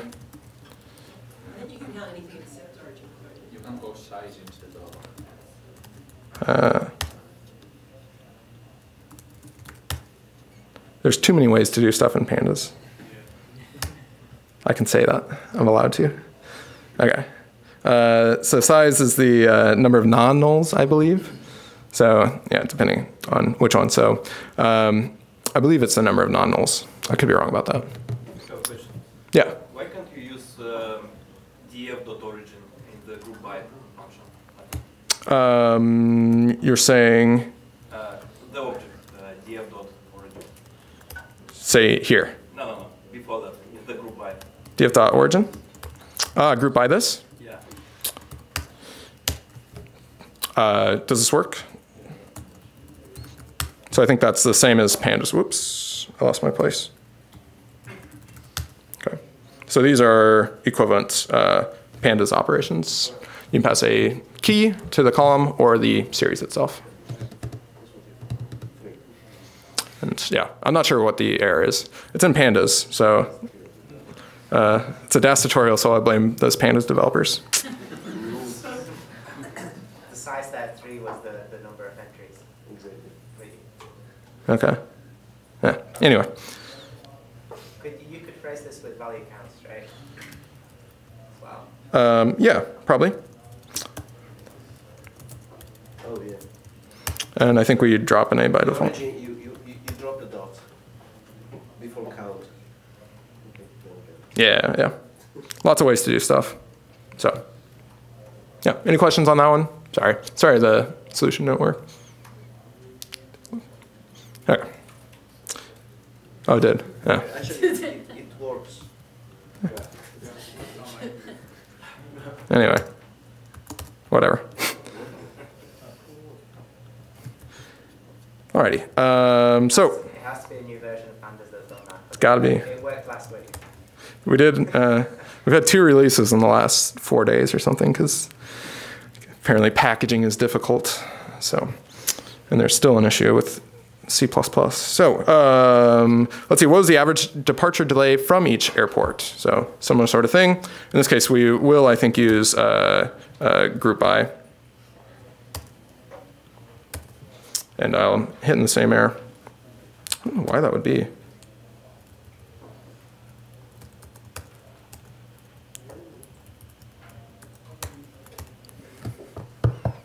I love pandas. Yeah. I don't know. I honestly don't know. But see, so this is a this is doing a data frame group by. This is doing a series group by. So um, those are different code paths in pandas, for some reason. And this is not broken. So if you're having issues, maybe this will work. Uh, and I'll file an issue after the tutorial. Do you So- have 23.0? Yeah. Okay, I have- 23.1. Yeah. It's free. I don't know. I do not know, but uh, yeah. Any questions on that one? And then the last one, uh, day of the week. Uh, so there's uh, in pandas, how do you get the day of the week of a date time? Uh, we're we're looking at uh, uh, what's the column name? There's a day of the week column. Yeah. Ah, yeah, there's, makes things easier. So we'll take a look at this. This is a zero through six, day of the week, or one through seven, I'm not sure. So we'll group by that. Whoops. So group by that. Uh, dot dep, dep delay, uh, and the average. Okay, so that's the lazy result, and then compute that. So if you're familiar with pandas, hopefully this feels uh, you know the same same. Uh, only the computation will be happening in parallel. It is one through seven. I, I, I, like this one. It says don't travel on a Friday. And, uh, most people might know that. Yeah. okay. Alrighty. Uh, so every time we've done these examples, let's let's think about the first two exercises. Compute the length of the entire data frame and the length of the, the number of non-canceled flights. Uh, there's a lot of re redundant work between those, right? We had to read the entire, uh, all the CSVs uh, for both of those computations. If we wanted to compute uh, both of those like at the same time, we can, there's a lot of shared, uh, shared com intermediate computation there. So similar sort of thing. Uh, when you're working with Dask, uh, deciding when to compute is an important question to answer, um, or it's an important thing to think about. So in this case, we're going to build up some uh, some results. So selecting the non-canceled flight and then getting the mean and the standard standard deviation of the uh, departure delays for the non-canceled flights. So these are lazy delayed results. Uh, and if we do those uh, sequentially, we're going to have to recompute everything that's shared. So all the reading from CSV, all the filtering. If we were to use a single call to the top level dask.compute, um, all that intermediate computation, which takes up the bulk of the time, is going to be shared between the two. So you get a slight speed up here. Well, a large speed up since it takes basically all the time. Does that make sense to people? It's like a very important but very subtle thing to think about when you're using Dask. This, this whole delayed computing is like a completely different mindset. Okay. Alrighty. If this works. You'll see that basically this is all fused uh, or shared between the two. Alrighty. So uh, earlier on I said that Dask data frame does not know its own length, unlike Dask array. Uh, that kind of uh, comes down to the uh, Dask data frame data model, where the idea is that you, you have uh, a data frame like thing, a table that's partitioned along the index. So pandas has an index. It's you know, very important uh, for lots of operations. Dask uh, has index as well, uh, and, and, in addition, it keeps track of the partitions of this index. Uh, so this can be important when you're thinking about like how do I get quick lookups. Uh, if I wanted to select all the flights for for February 2016, there's a couple ways you could do that. You could filter, uh, do like a filter. So select the there's like a departure date column. Uh, give me the ones where that's uh, equal to February. Um, and that would have to scan the entire data set and then do the filtering, uh, which would take you know a while. There's another way to do it. Um, ah, we, we need to make the date times first. So uh, if we look at df.cscrs dep time, okay, these are in some weird format. Um, I think this is like uh, hour in the first two, and then minutes in the second two. If that makes sense. But they're currently ints, so we got to do some work there. Okay. Um, Right. So yes, so this is a, an example of uh, how to use uh, that Pandas has a large API, like we've discovered. Dask doesn't cover all of it uh, because that'd be insane. So if you if you do need a bit of Pandas API that isn't implemented yet, how would you do that? Um, so here's an example of uh, something that uh, used to uh, we used to not have a uh, dd.toDateTime. time. We do now because we've fixed that. But uh, suppose we didn't have a dd.toDateTime time to convert these to date times. What would you do?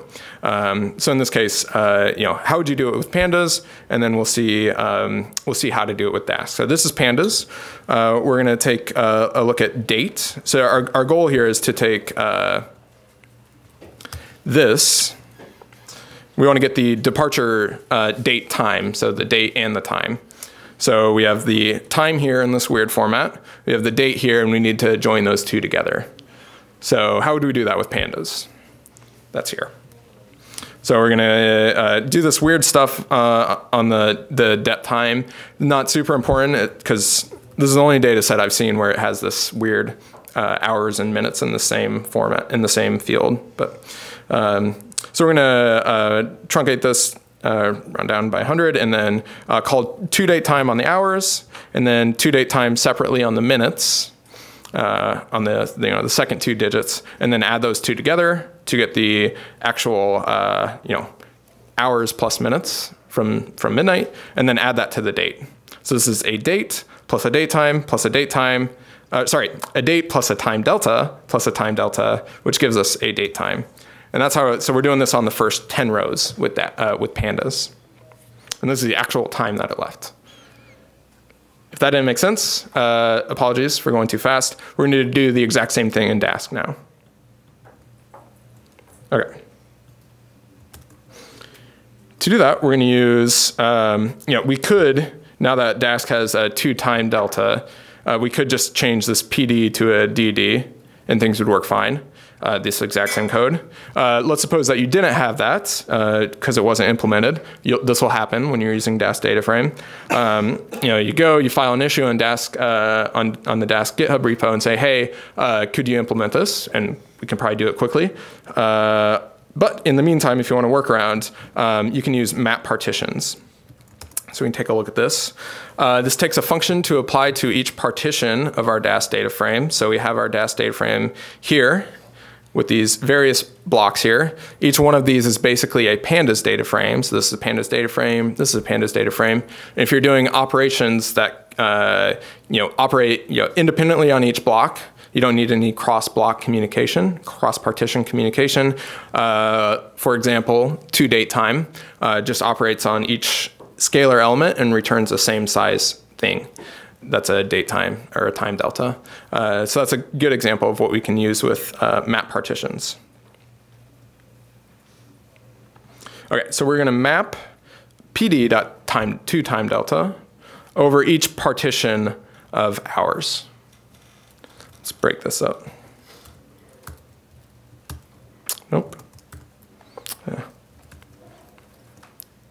I don't know how to control. There we go. So hours time delta, we haven't really done anything yet, but Dask uh, data frame knows that we have a time delta here. And then we'll do the same sort of operations here with our minutes time delta.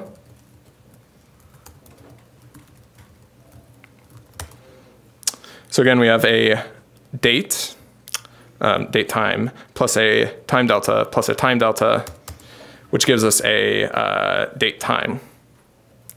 And at that point, we can actually compute it you know, in parallel. Okay. Questions on that? Go back here. So the key takeaway there is uh, you're going to come across things that are not implemented in Dask data frame yet. Uh, for many of those cases, uh, map partitions is going to enable to, you to take your normal pandas workflow and adapt it to Dask so that it runs in parallel and out of core and all that. Um, that's slightly inefficient because we do these two uh, separate map partitions. You can fix that up if you wanted, uh, but I think we'll skip that in the interest of time uh, to get on to a more interesting topics schedulers. Martin, do you want to do this one? All right, so schedulers and then yeah, I think I think's running. Everything's um, okay. Oh, I haven't checked. Uh, I forgot okay. to, but I, I, think so. Um, yeah. Yeah. Uh, so you'll do schedulers, I'll do data frames. Mm-hmm. And then and, and, then I'll, I'll be back. Advanced. Yeah, perfect. And I, I, still don't think we'll get to number seven. I don't think so either. Okay. Okay, we are back. So, uh, into some more juicy, exciting Dask stuff. Uh, thank you, Tom, for uh, stepping in and uh, taking the place of Jim today. Um, he'll be back with distributed data frames, which is data frames but bigger shortly. Okay, so um, now I'm going to talk about schedulers, or schedulers if you prefer which is uh, we've been executing some stuff and it's been running in parallel, and Dask has some magic to make that happen. Here's a nice little diagram of some computation. And Dask the scheduler is handed one of these graphs of whatever it is that you want to compute, and it takes some logical decisions about what to run when, how to pass intermediates from one task to the next, and how to basically turn all of this red so you get the, your, your final output at the end of this. I think blue ones are ones on here that have been computed and already forgotten about because they're no longer needed. So Dask cares about getting stuff finished and out of memory so that you can run more stuff. It cares about running things in parallel. It cares about all of the things that you would like uh, a parallelism framework to do for you. But there are some options. So in this notebook, I'm going to talk about the options available to you. First of all, uh, we've been running things locally, which was the original use case for Dask, which is that you have your computer, you want to be able to use all of its cores, and you want to be able to compute against data sets that are larger than your memory. And for those things, it runs very efficiently and it's splitting the, the work into um, threads and processes.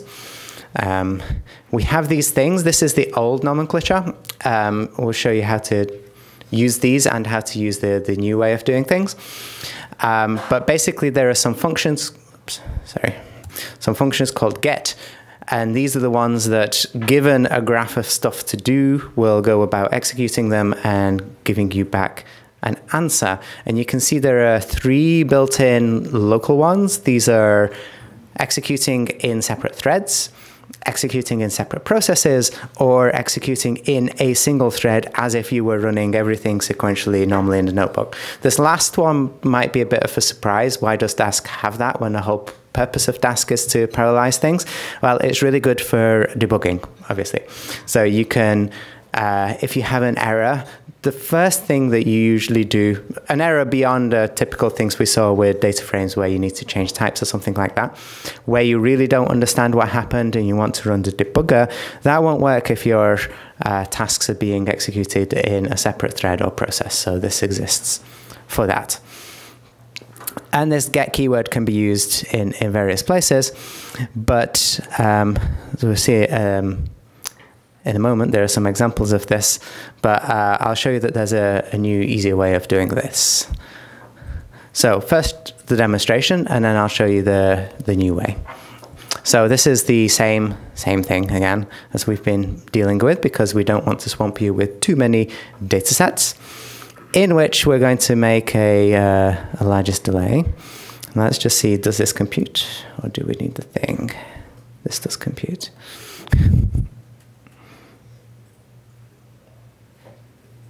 Okay, maybe I should have just timed it. So um, there's your answer. And this takes a few seconds, obviously. And it's using threads in the back, uh, uh, background to do that. Uh, that is the built-in default. That's what happens unless you specify otherwise. And when it's doing this, it's opening some files, it's loading some files, it's passing them, it's evaluating this Boolean, it's filtering, it's selecting a column, and then it's uh, taking maxes of each of the data frames and then combining them. So that's all of the work that's going on in the background. That's quite a few tasks. And it, well, I don't know if you think this is fast or not, but we did see some examples using uh, sequentially a set of pandas data frames, and it's faster than that. Now, if we want to run this on processes instead of threads, and you can see the, the nice handy. So the version, Dask version has been updated, but not all of the code, but this is interesting. Um, saying that get is perhaps the older way of doing this. I'll show you in a moment what the new way of doing it is. Um, so now we're using processes to do the same thing. And we'll immediately notice this has already ran for more than six seconds. Any thoughts about why that might be?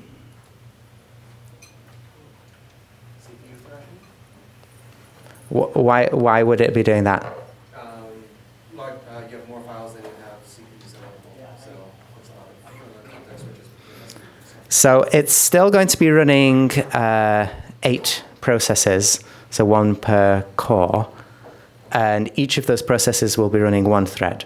So it's not not overloading the CPU in that sense. But what is happening is that we have dependencies between the various parts of this computation. So there's a lot of communication between the processes that's going on.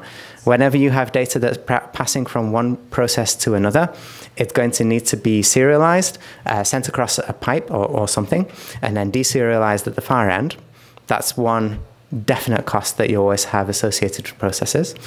Another cost is starting processes is slow, especially if you're on Windows, which I don't think too, there seems to be mostly Macs in here, but some of us might be on Windows. Uh, Windows process startup time is particularly slow.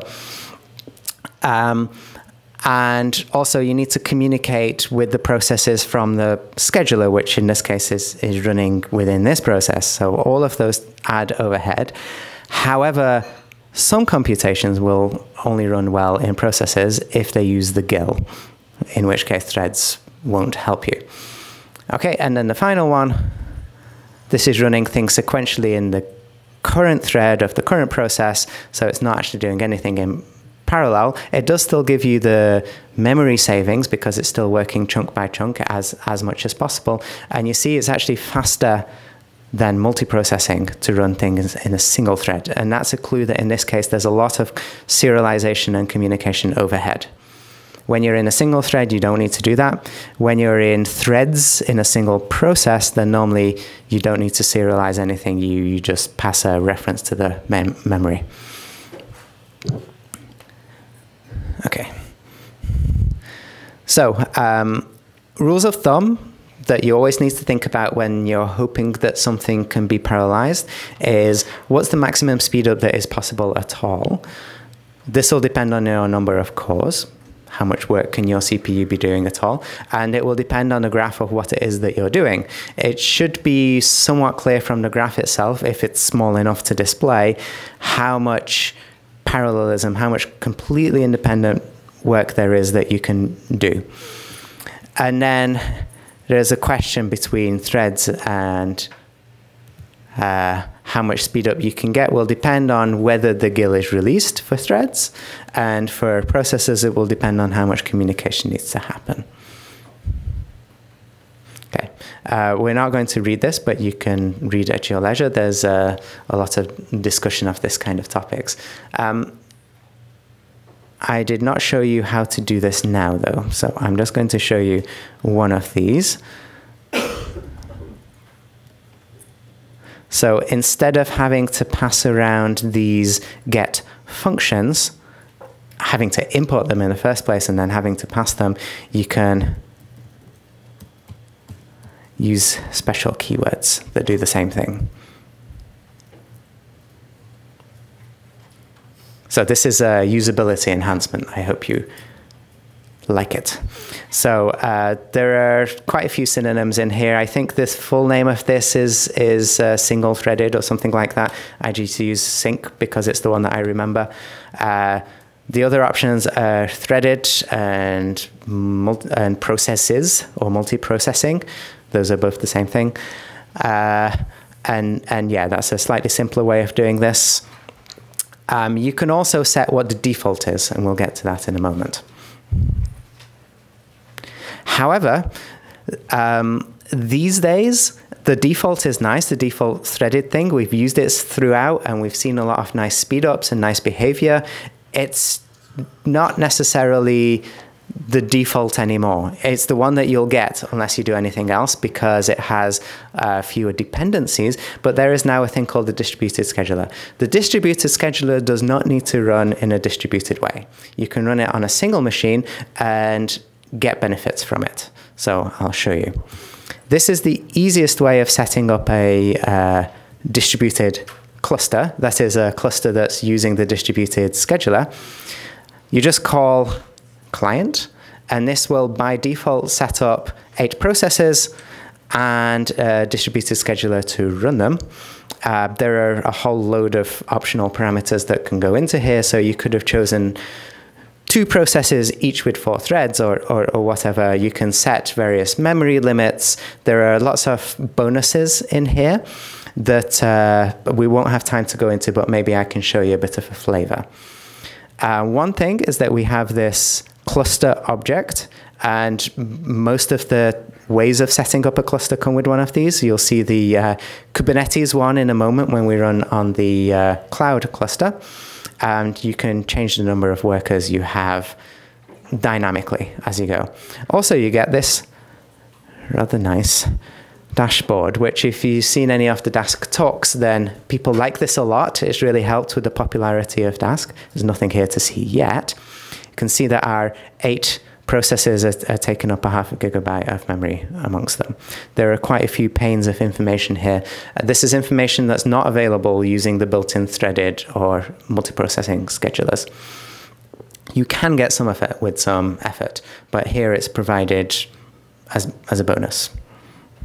Okay, so um, since we now have a cluster, a, a distributed client setup, if you make one of these, then it will become the default without you doing anything else.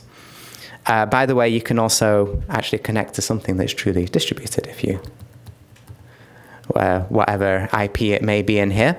If you have a cluster that's been set up for you, or you have the means to set yourself up a cluster on a cloud provider or on your local hardware, whatever it may be, then here is where you would put the address of the scheduler to connect to. Again, we'll get to that shortly. So now, if I compute this thing, things happen over here, stuff happens, which is really nice to see. And when it's done, here we have a result. You'll notice that this is the fastest that we've seen yet, which might be a surprise because this is using processes, in fact, so there's communication going on. But the distributed scheduler is the next generation scheduler. It's much smarter about making sure work happens where the data already is, so that there's the minimum of um, communication between the processes going on. And in fact, you can see like this, we skipped over it rather quickly. These are all the tasks as they happened in here. So we started off with some um, read things, and then we have some pandas passing stuff that's going on. Those are the, the biggest blocks here. And then we have the actual getting items, grouping, and all the rest of it. The red pieces here, those are communication. So there is occasionally some communication going on, but there's very little of it in total. Any questions there? That was quite a lot of information in a short amount of time. Yes. Yeah, there are eight here for the eight cores of the machine. If none of that's displaying, am I missing some library? If none of what is displaying? Yeah, I, I just get a thing that says VBox children equals. Uh, The nice in, which you have with the number of cores and uh, workers. On oh, this thing? Yeah. Oh, okay. Then you are missing IPy widgets. Um, it's fine. It won't. It won't matter. You don't need this. I'm not actually going to use it. Um, if you ran the standard notebook instead of the Jupyter Lab notebook, then maybe it works because the you need the extension to be built.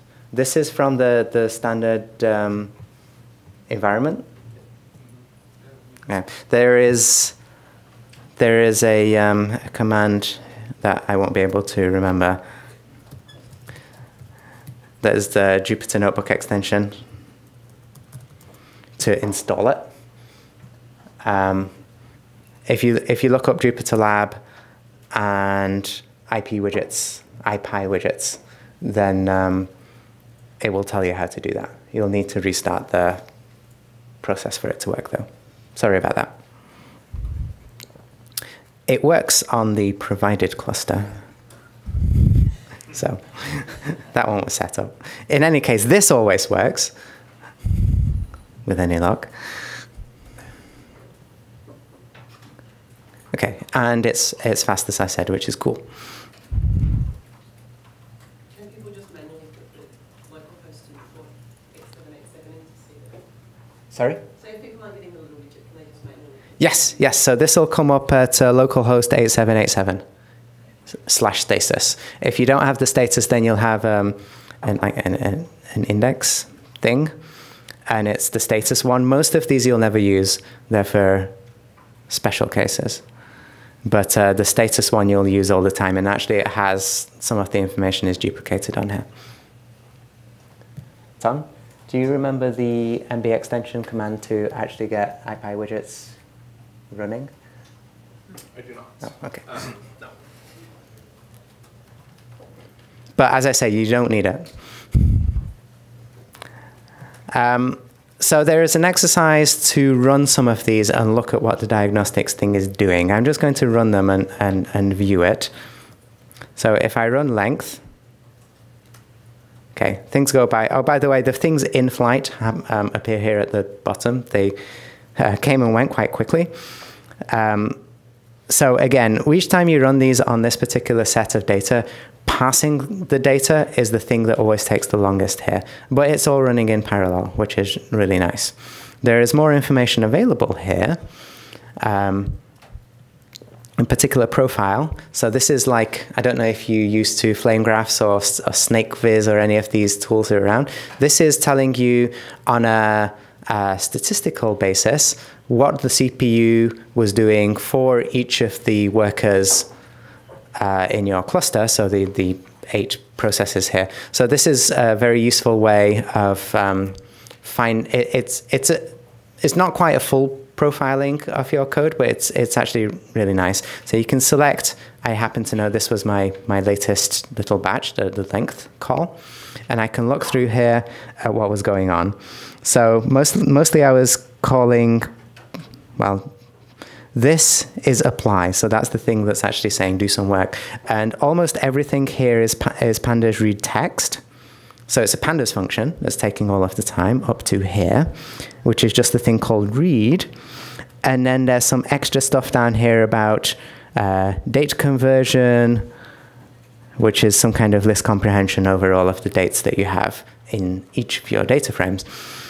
Um, so passing the data takes the longest and then converting some of those date times because um, if we go back here, uh, wherever df was defined, this thing saying that these three columns are going to become a date time.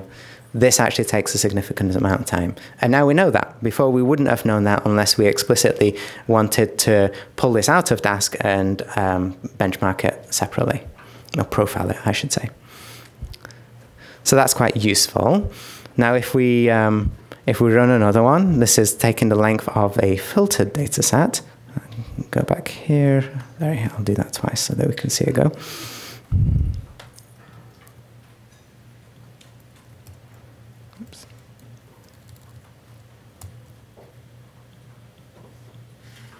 You can you actually saw the, the, I'm sorry, these are going too fast. Dask is too good, obviously. Um, Uh, you can also get progress bars in here to see the tasks go if you want. We'll, we'll uh, show that in a bit. This one's more complicated, so this should take a little longer, except that we have the same problem as before. So presumably this does it. Okay, now you see there's lots of tasks. Uh, still loading takes the longest time, but then there's there's lots of these little pieces on the end here. You can, oops, sorry, I didn't mean to do that. You can zoom in on them if you want to. Um, the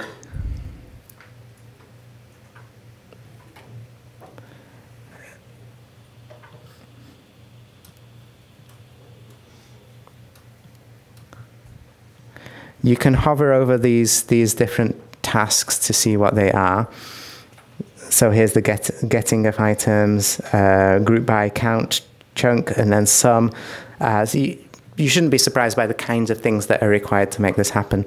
Uh, and again, these red boxes are communication. If you have a workload where you see a lot of red cropping up, then um, you, you might need to think about if there's a way of doing it with less communication. Oh, how did I end up with two? Okay, and the last one, this is going to look quite similar, except now we're doing some date time thing. Did you file one yet?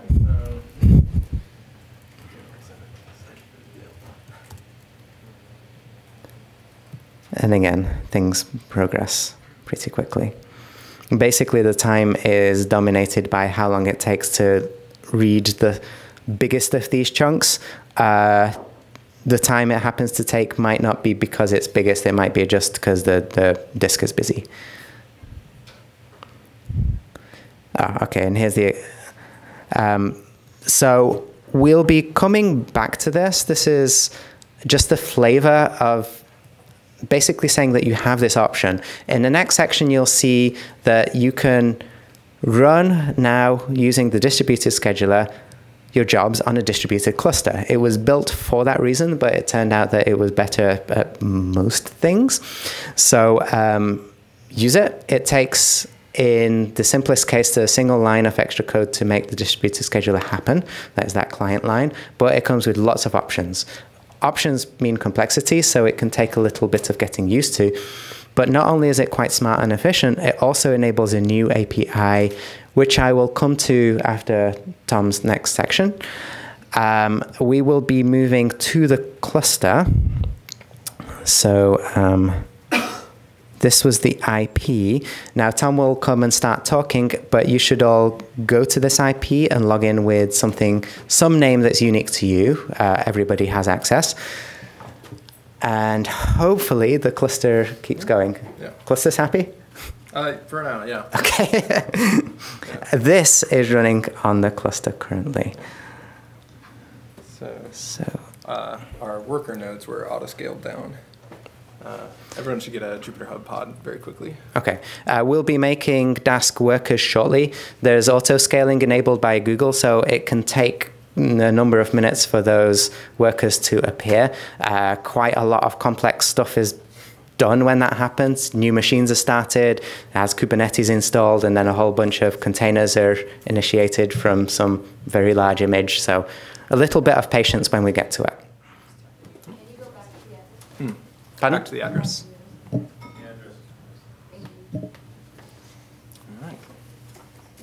you want to use that? Uh, no, I'm just gonna have the uh, stats over here. See if anyone's pods do not come up. Was, was there anything else about schedulers in, in general that people wanted to ask?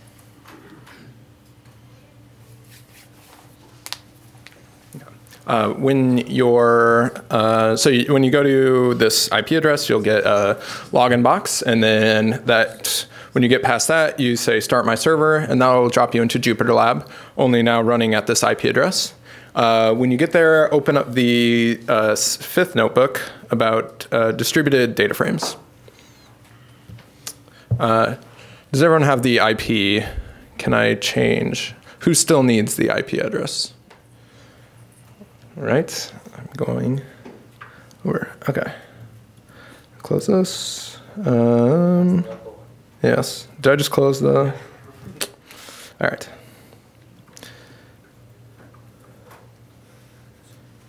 All right. Um, just to kick things off, uh, can everyone run these first two cells? Uh, oh, hopefully I ran mine soon enough.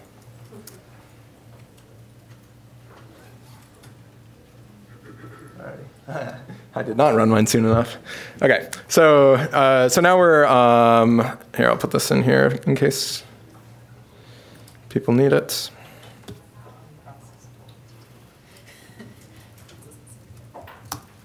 Okay. Um, yeah, so now we're on this cluster, and everyone's getting their own Dask cluster, uh, isolated from everyone else in theory. Uh, when you run this cell, we can actually take a look at the code. It's not doing anything special. Uh, Dask works with a ton of different, uh, or many different resource managers. Uh, in this case, we're on Google Cloud Platform using Google's uh, Kubernetes engine. So this is like a managed Kubernetes service. If you're not familiar with Kubernetes, don't worry about it. It's a thing that takes care of running these applications, these containerized applications. Um, so we are um, interacting with Kube Dask Kubernetes here. It provides a KubeCluster object. Um, all of these cluster objects, there's one for like HPC systems, uh, like Yarn or, or sorry, Slurm or um, all the other ones, I don't know them all. Uh, there's ones for Yarn if you're coming from the Hadoop world. Uh, there's other ones. Uh, uh, and like I said, this one's using uh, Kubernetes separate from that, there's uh, like the actual underlying machines that this is this uh, compute is actually happening on. Um, like Martin said, we're on Google Cloud Platform, which does auto scaling. Um, I, I, had made a bunch of machines, and then they were just sitting there idle for an hour, and it got auto scaled down. Um, but they're coming back up now, I think. Yeah. Okay. So yeah, the machines are coming back up now, and this is like an IPython widget. And so when the machines arrive, you'll see the workers pop in here. Um, once the machines are ready, we're still not quite there yet. We have to get the environment in place. So Kubernetes is based around Docker images. And so uh, once a machine is ready for this uh, Dask worker to show up, it has to download a Docker image. Uh, I don't know if you're familiar with Docker, but the scientific Python stack is huge in terms of like megabytes. So that also takes quite a bit of time. This is like a collective action problem that we all have to solve, where we need to re reduce the sizes of our libraries so that we can quickly, you know, scale up and scale down these clusters. So if you maintain a package that uses like Cython code or something, then uh, think about this. There's a GitHub thread on Cython about how we can solve this problem as a community. Yeah. Is there any way I make a new login because it doesn't like underscores? If you let, um, yeah, if you go to, uh, oof, um, sorry. Uh, so take that URL and go to slash hub slash home. Uh, and then there's a log out. And then you can log back in. Mm -hmm. Anyone else having issues? Ah, I have workers. I have four workers. I asked for nine. So they'll come in. Uh, this kind of shows a cool thing about Dask. It's adaptive, where workers can come and go. Uh, sorry, this is Dask distributed. Workers can come and go, and there's actually a mode you can set it to where it'll be looking at your computation and noticing, uh, hey, you're low on memory, or you're uh, you have a ton of tasks, you don't have enough CPUs. Let me auto scale up quickly, give you some more workers for this large burst of work that you've submitted, and then I'll scale down. Um, it works out quite nicely, but again, you have to download that large Docker image. So. Uh, not as good as it could be. Okay, and then make sure to open this uh, dashboard. Uh, and I'm going to try and do this uh, on this side here. It's going to not work perfectly, but that's okay.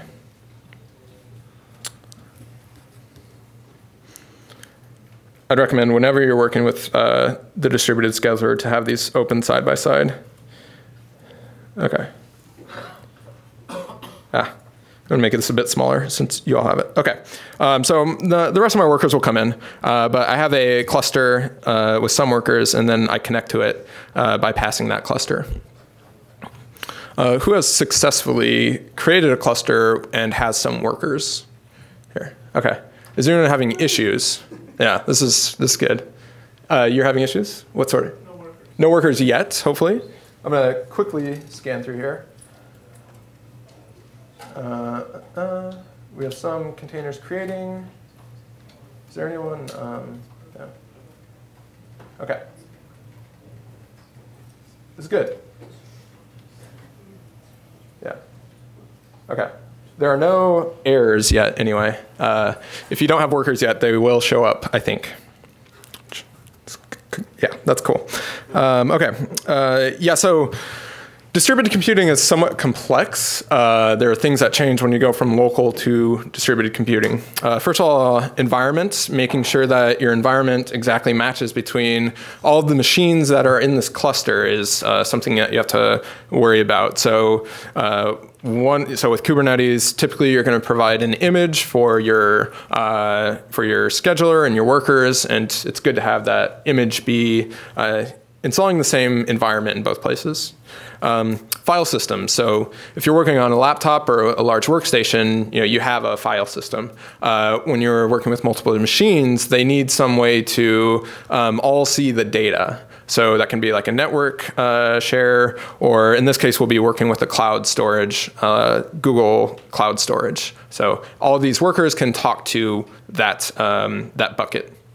Um, and then communication. Uh, it's not such a huge deal on a single machine. Things can be sent between processes pretty quickly. Um, it's, it's, slow relative to like copying data, but uh, when you're on a network, uh, sending things between machines it takes much much longer. So again, if you have a lot of communication, maybe think about how your workflow can be restructured.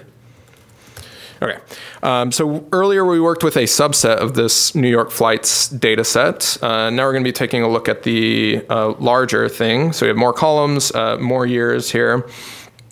And we'll take a look at the first uh, five rows.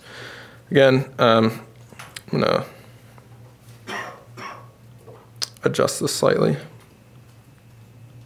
Can't click. Yeah.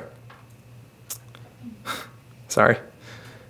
And I'm going to make it a bit smaller still. Sorry. Um, okay. So we have these workers here. Oops. And uh, we're basically be doing similar things to what we did before, um, but on a cluster now, so able to scale out to larger data sets.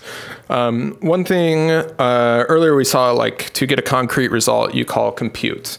Um, but maybe the data set's so large, so you didn't want to do that. When we were working in that first notebook, we had, uh, you know, computing like the length of the whole thing, like the length of the subset of non-canceled, and maybe doing some group by. Every time we ran that computation and did the compute, we had to read in the CSV from scratch. Um, with a cluster, sometimes your data set will fit in the cluster's RAM. Okay, so it doesn't fit in any individual workers machine. Uh, in, in it, it doesn't fit in any individual machine's RAM, but when you uh, spread the data set across the cluster, it fits in distributed memory. Um, and so that's what we're going to do here with persist. So this is kind of like compute. Uh, it doesn't give you a concrete result, but it gives you a, a, much, much simpler result, if that makes sense. It's still going to be a Dask data frame, but it's going to have done all of the steps up to that point. It's like a checkpoint. So uh, how would you, um, I mean, this is a, yeah, we're just going to do it. Uh, df equal df dot persist. Okay. So a couple things to notice. You'll see, first of all, that this returned immediately.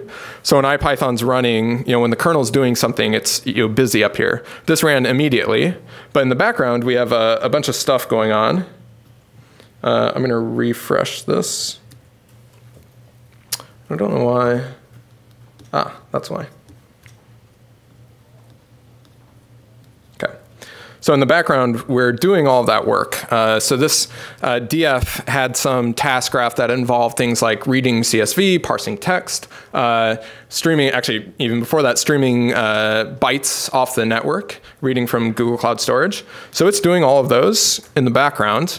And at this point, we have a, a very simple uh, you know, graph behind this thing. It's, it's really just, you have a whole bunch of pandas data frames in memory somewhere on the cluster. And then right here, back at the client, we have this uh, Dask data frame object that knows about all of that.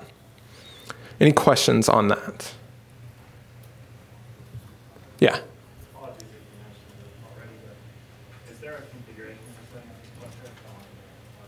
Yeah, so the question was, is there a configuration for setting up the cluster? Um, in this case, we're at uh, Dask tutorial infrastructure.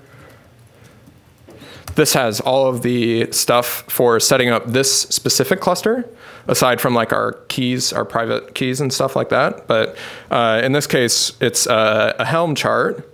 So it's, it's pretty simple, really. Uh, we're just saying I want this version of Pangeo, which is you know a a Helm chart. Helm's like a Kubernetes, like this is a rabbit hole of stuff, but uh, you know, for most of these, like with Dask Kubernetes, you have some configuration file where you specify, uh, you know, what you want, like the number of machines, things like that. Um, there's uh, one for Yarn as well, where it's similar. So, depending on your specific one, uh, you'll have different uh, setup, but yeah, that's how we did it for this one. Okay. So at this point, uh, things like um, computing the number of non-canceled flights. Again, this is still uh, a Dask data frame, so this is a lazy result. And then we can go ahead and actually uh, compute it here. And that triggers some computation. So there's like a whole bunch of uh, index. This is like doing the filtering. Uh, and then there's some counting of chunks. And then some communication of those intermediate results to the final uh, aggregation there. That's sum. Notice that there's no network stuff here. There's no reading stuff from uh, Google Cloud Storage. Um, hmm, I don't know what just happened. Did I?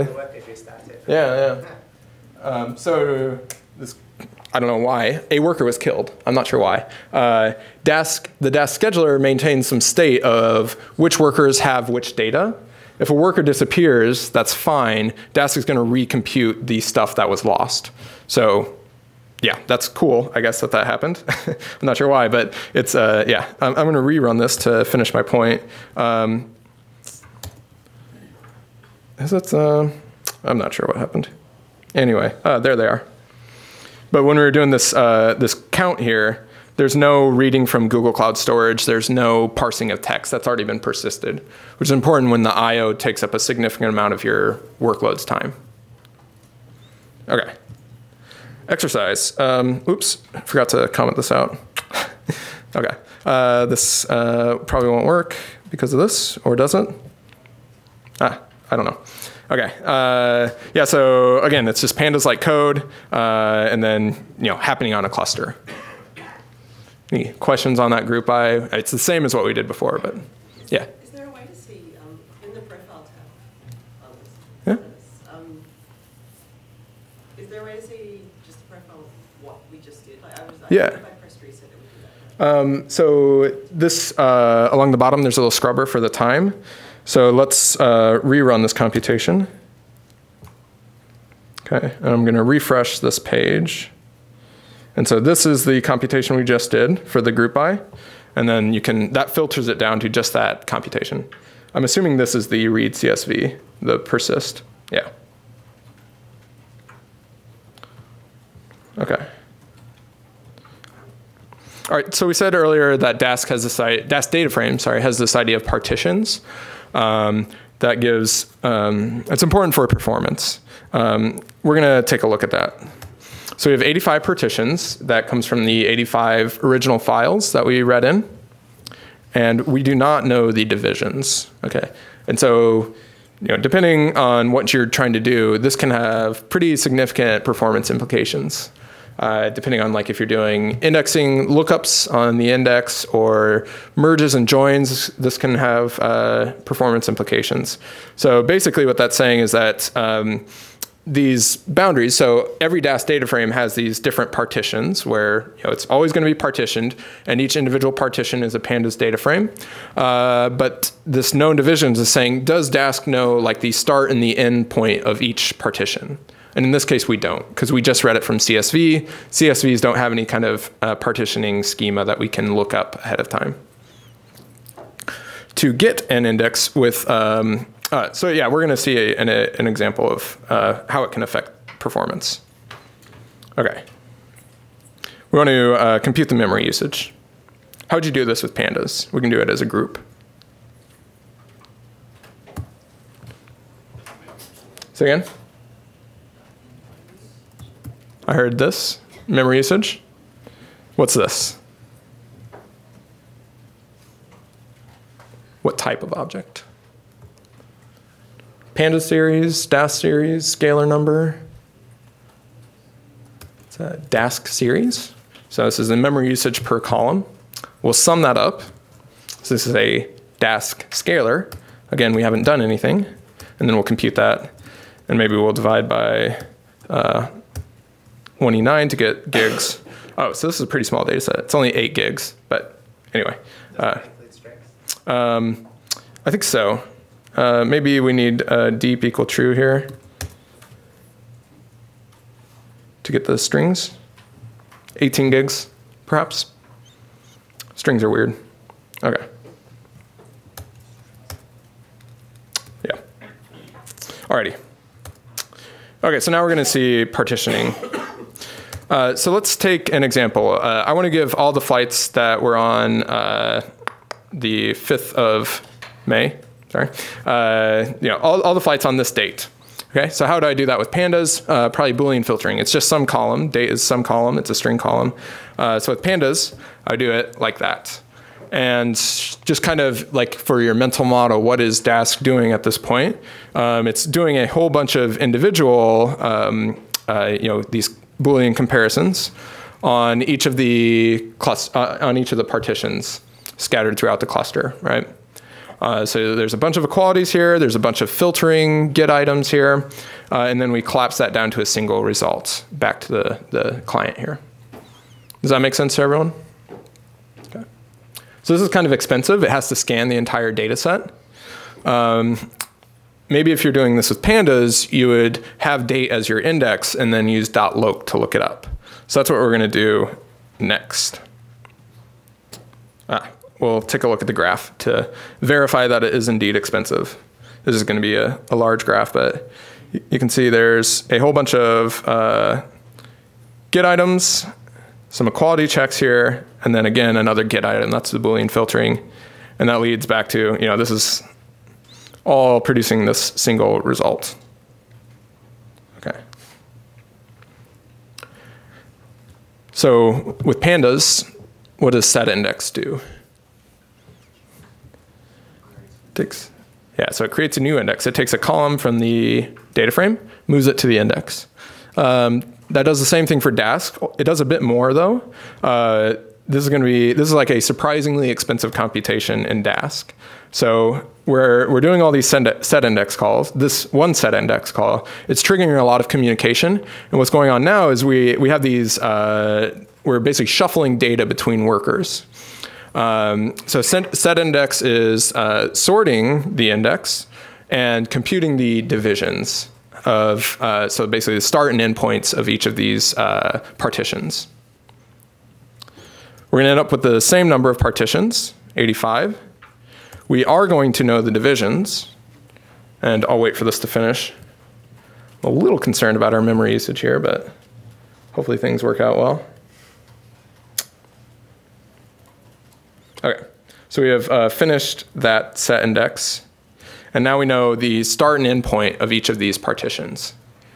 And so now with, uh, we'll take a look at df.head here. Now that we have our dates in the index, we can um, look up these flights, again by using loc. And now notice how quick it was this time.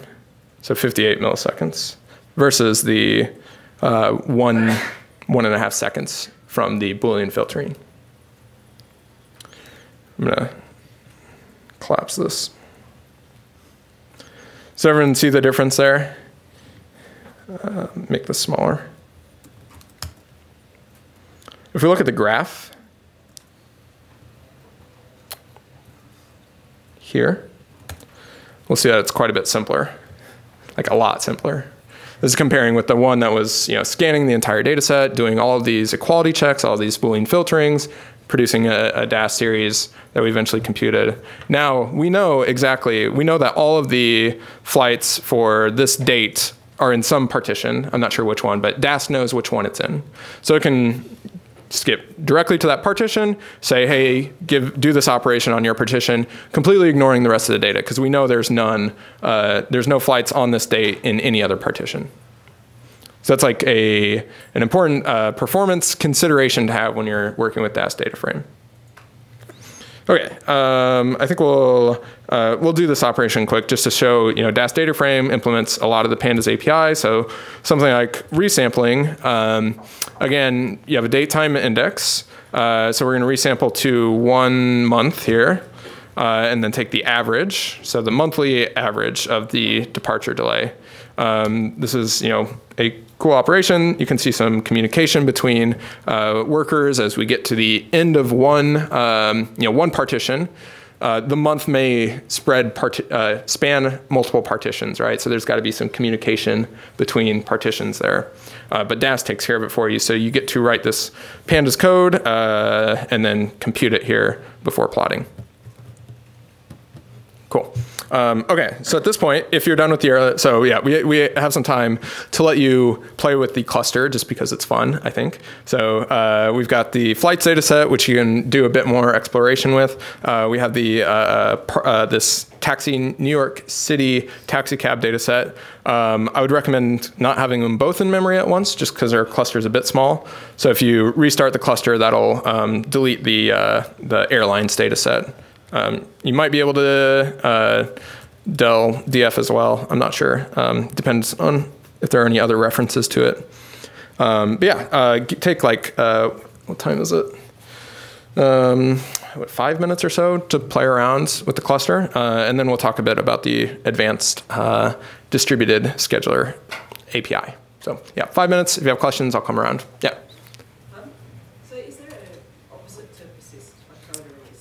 Um, so typically, uh, if you're all done with it, you can delete it. And in theory, this will collect some.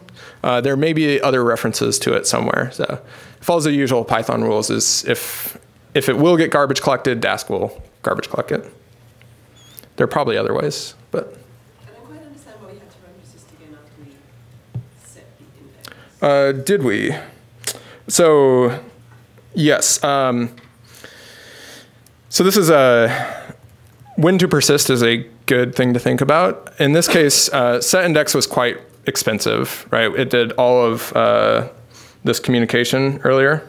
Uh, I've lost it, but it did a whole bunch of communication, uh, a whole bunch of computation. Uh, so that's probably a good point to persist it at. If you hadn't persisted, you'd still have the data in RAM, uh, but this operation here would have taken quite a while because doing um, so if you think about the chain, you have df from before, the first persist that's in RAM, uh, distributed memory, uh, and then this df equal df.set index without the persist.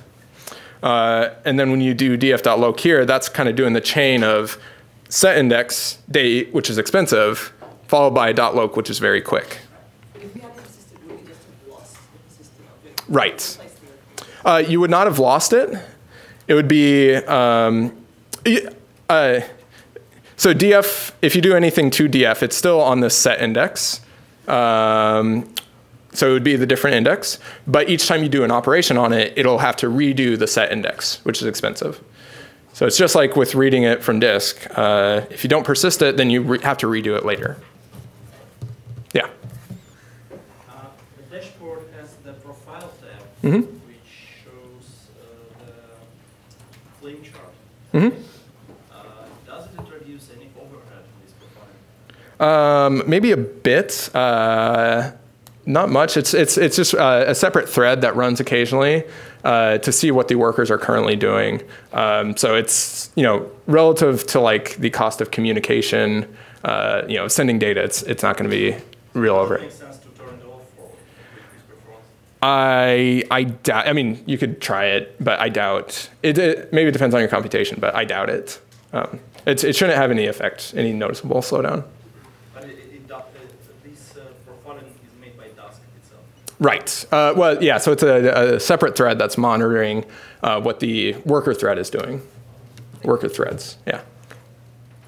Okay. So playing with the taxi cab dataset here.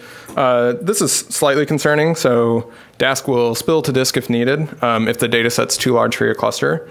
Um, so it looks like, uh, you know, ideally I would have a few more workers here to analyze this dataset. Um, I'm not even sure if this computation will complete or not, or if it will run out of RAM.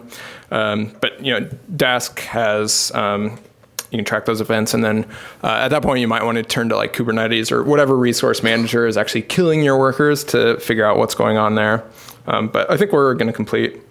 Uh, grouping by the uh, so taking the taxi cab, filtering down to ones where the they actually tipped, uh, grouping by the hour of the day, um, which is just an integer, uh, and then take finding the average tip amount, um, which uh, yeah, there's a couple peaks here maybe. 4 a.m. is a nice time to be a driver, I guess. Um, so I think uh, unless there are any objections, people are of course welcome to keep uh, playing with the cluster. Uh, otherwise, I think we'll go on to the uh, next notebook. Um, if you could, just to be kind, uh, go ahead and close the clients um, and close the cluster as well. This will free up your uh, workers for the next notebook. So uh, when we get to this notebook, which I'm going to do quick for Martin so that he has a cluster, you should get your workers much more quickly this time because the machines are around and they're free since we just closed them. So uh, yeah, I'll turn it back over to Martin. When you, when you do that client reset, uh, if your workers. On your laptop, um, You initially did it, but Actually, it doesn't need too many resources. It's not really the point of it, but uh, yeah, I think it should be okay. Uh, interestingly, before we go on to it, I don't know if anybody. So we had the peak. Sorry, that's not the right one. Oh yeah. So the peak at four o'clock happens to be when the bars close in New York. Right? I don't know if people knew that. There is a reason for that to be there. Uh, this one is people going to the bar, maybe. I don't know. Because that's all that happens in New York, right? Okay. well, were there any other problems with what we were doing before moving on? We're, uh, it's been quite a long session. We're getting towards the end of it, don't worry. If this is hazy now, maybe it'll ring some bells when you come back to it later. It's the best we can hope. okay. Um, so now, again, oh. We restarted a cluster with uh, default nine workers again, and it came back up quite nicely because we just released a load. Um, so when we, the, this thing, what shows up here, the details of the cluster, and this view of the cluster with its controls are, are not that different. If you're not going to be um, changing your cluster, it's fine. If you're just using a local cluster, you don't usually bother with this. Okay, so uh, coming back to some stuff that looks quite familiar from ages ago when we did delayed things. Right, here we have increment, now decrement, also an add, and these um, have some sleep statements in them. So there is an alternative API for getting work done by Dask, which is not delayed. Delayed is really good and it does loads of stuff, but it's not necessarily the solution to whatever you're doing. Also, we have the uh, submit map API. So this may be familiar to people who are used to using concurrent futures. It's something that crops up in lots of other places too, uh, general MapReduce type algorithms. Um, but the main point of it is not that. The main point of it is that everything that happens in this notebook happens dynamically. That is, instead of creating a body of work that we want to pass to the uh, for execution with Dask. Instead, we're going to execute stuff and check on the results in real time.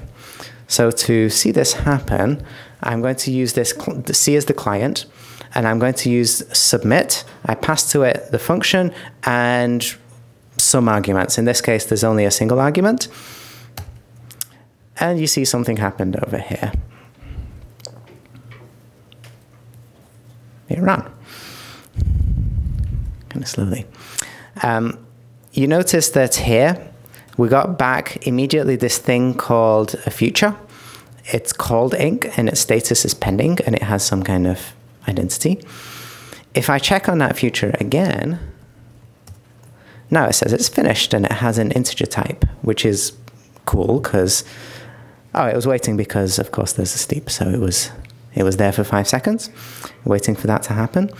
And now, after five seconds, we have this thing, fut, which is a future, and it points at a result that happens to be an integer that is being stored somewhere on the cluster for me.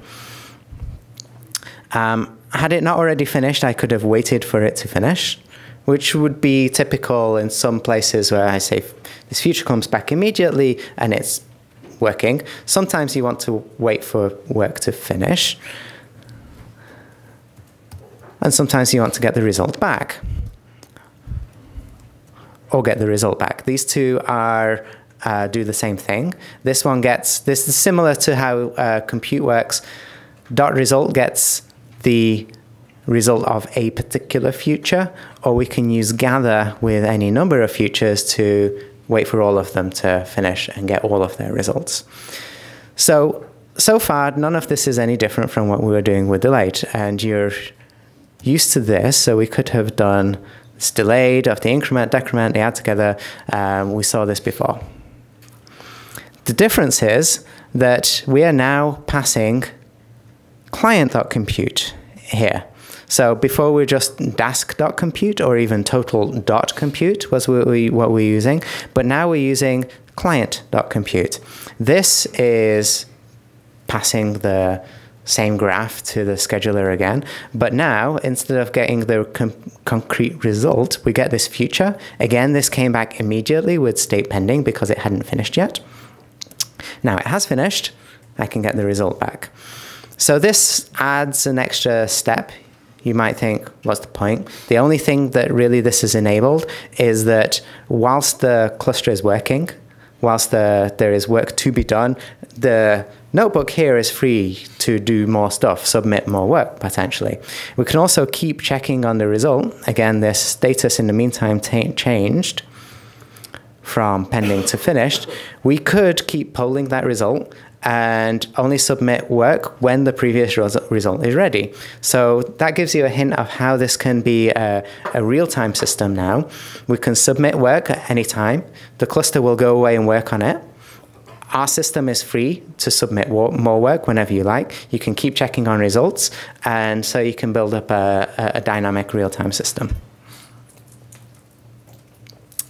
Um, this still used delayed, so the there was only one block of work that was being handed to the cluster to, to do here.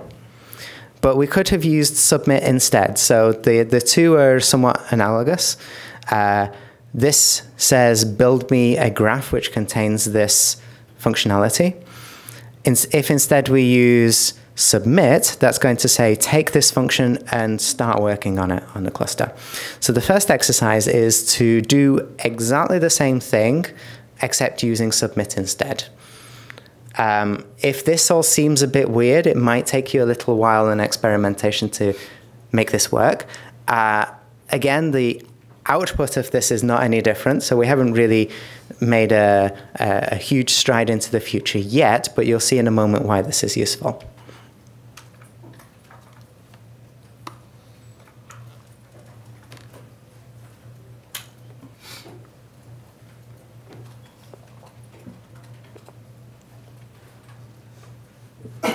As usual, any questions? I'm sure everybody is wishing for their lunch and to be out of this room, but we're nearly there. Yes? You said gather like is similar to wait, like it will wait first. How much is it gonna ping the processes to waits? Uh, the communication overhead talking to him from the scheduler is very low. So it's not going to task the cluster just because you happen to be waiting. It's in fact doing that in the background anyway. That's how the future status gets updated. So that happens.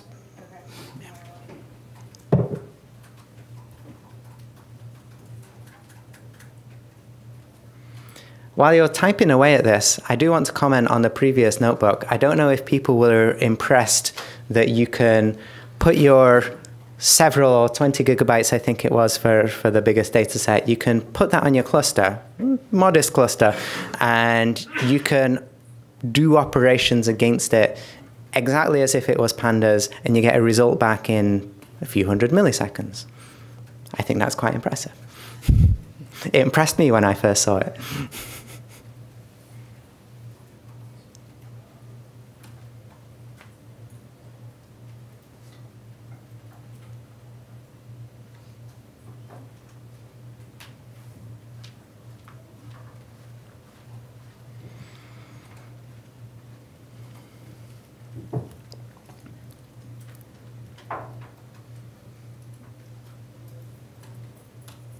This notebook is fairly short, so we can take our time over discussing the implications. Uh, many of you will not use this API, but I think it can be something useful to bear in mind. If all you ever use is client.compute, then that's already useful.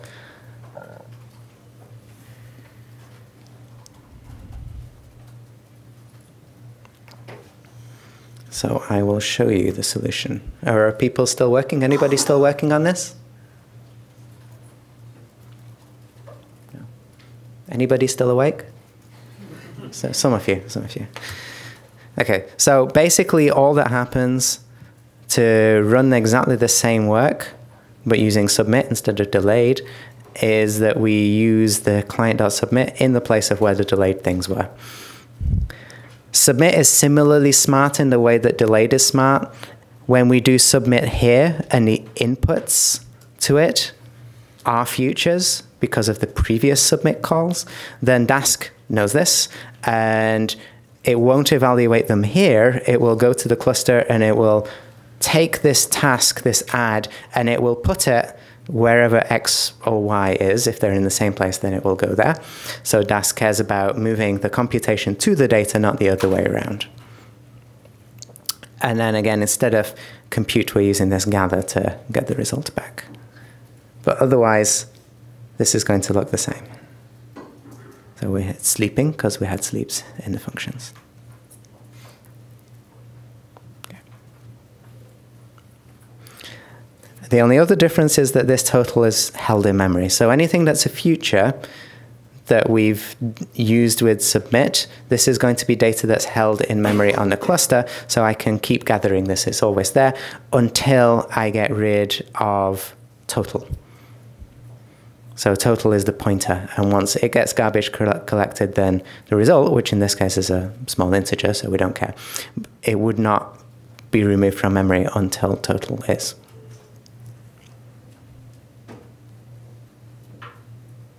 Okay, so um, we can use this API. Uh, submit is the one function. The other function that you need to know about is map, and this does what you might expect. It takes each of a set of inputs.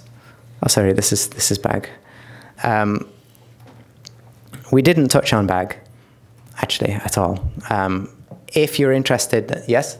Sorry, question about previous task. Uh, I ran my implementation and then tried to run your implementation, and uh, I see that uh, there was no computation the second time. How to uh, force it to recalculate? Um, if you already have a future that's pointing to a result, there is a unique key involved yeah. that is a hash of all of the inputs of that. So uh, yeah, if that if the result exists, then Dask will just get you the result without recomputing it. You would have to delete the result using del uh, and and all references to it until the cluster has forgotten about it, if you wanted to. Um, yeah, I'm not going to talk about bag. Bag is something that you can look up yourself. We used to have a, a bag section to this tutorial, but people don't use it that often. It's a functional programming paradigm, so uh, some of you maybe use that. Um, the point of it is that wherever you had a um, a collection, so this could be array or data frame, or in this case bag, you can use those with the client.compute just as well, uh, just the same as you could have used a delayed thing like we had before. Basically, everything works. And an, an added little feature is that you can watch these things progress in here. This output on here is part of this output here. Sometimes it's useful to see all the different parts. Basically, there are quite a few uh, bells and whistles built around the distributed scheduler that will be useful to you. And then again, we can get the, the result back. So here is the del and this should get rid of uh, some data on the cluster.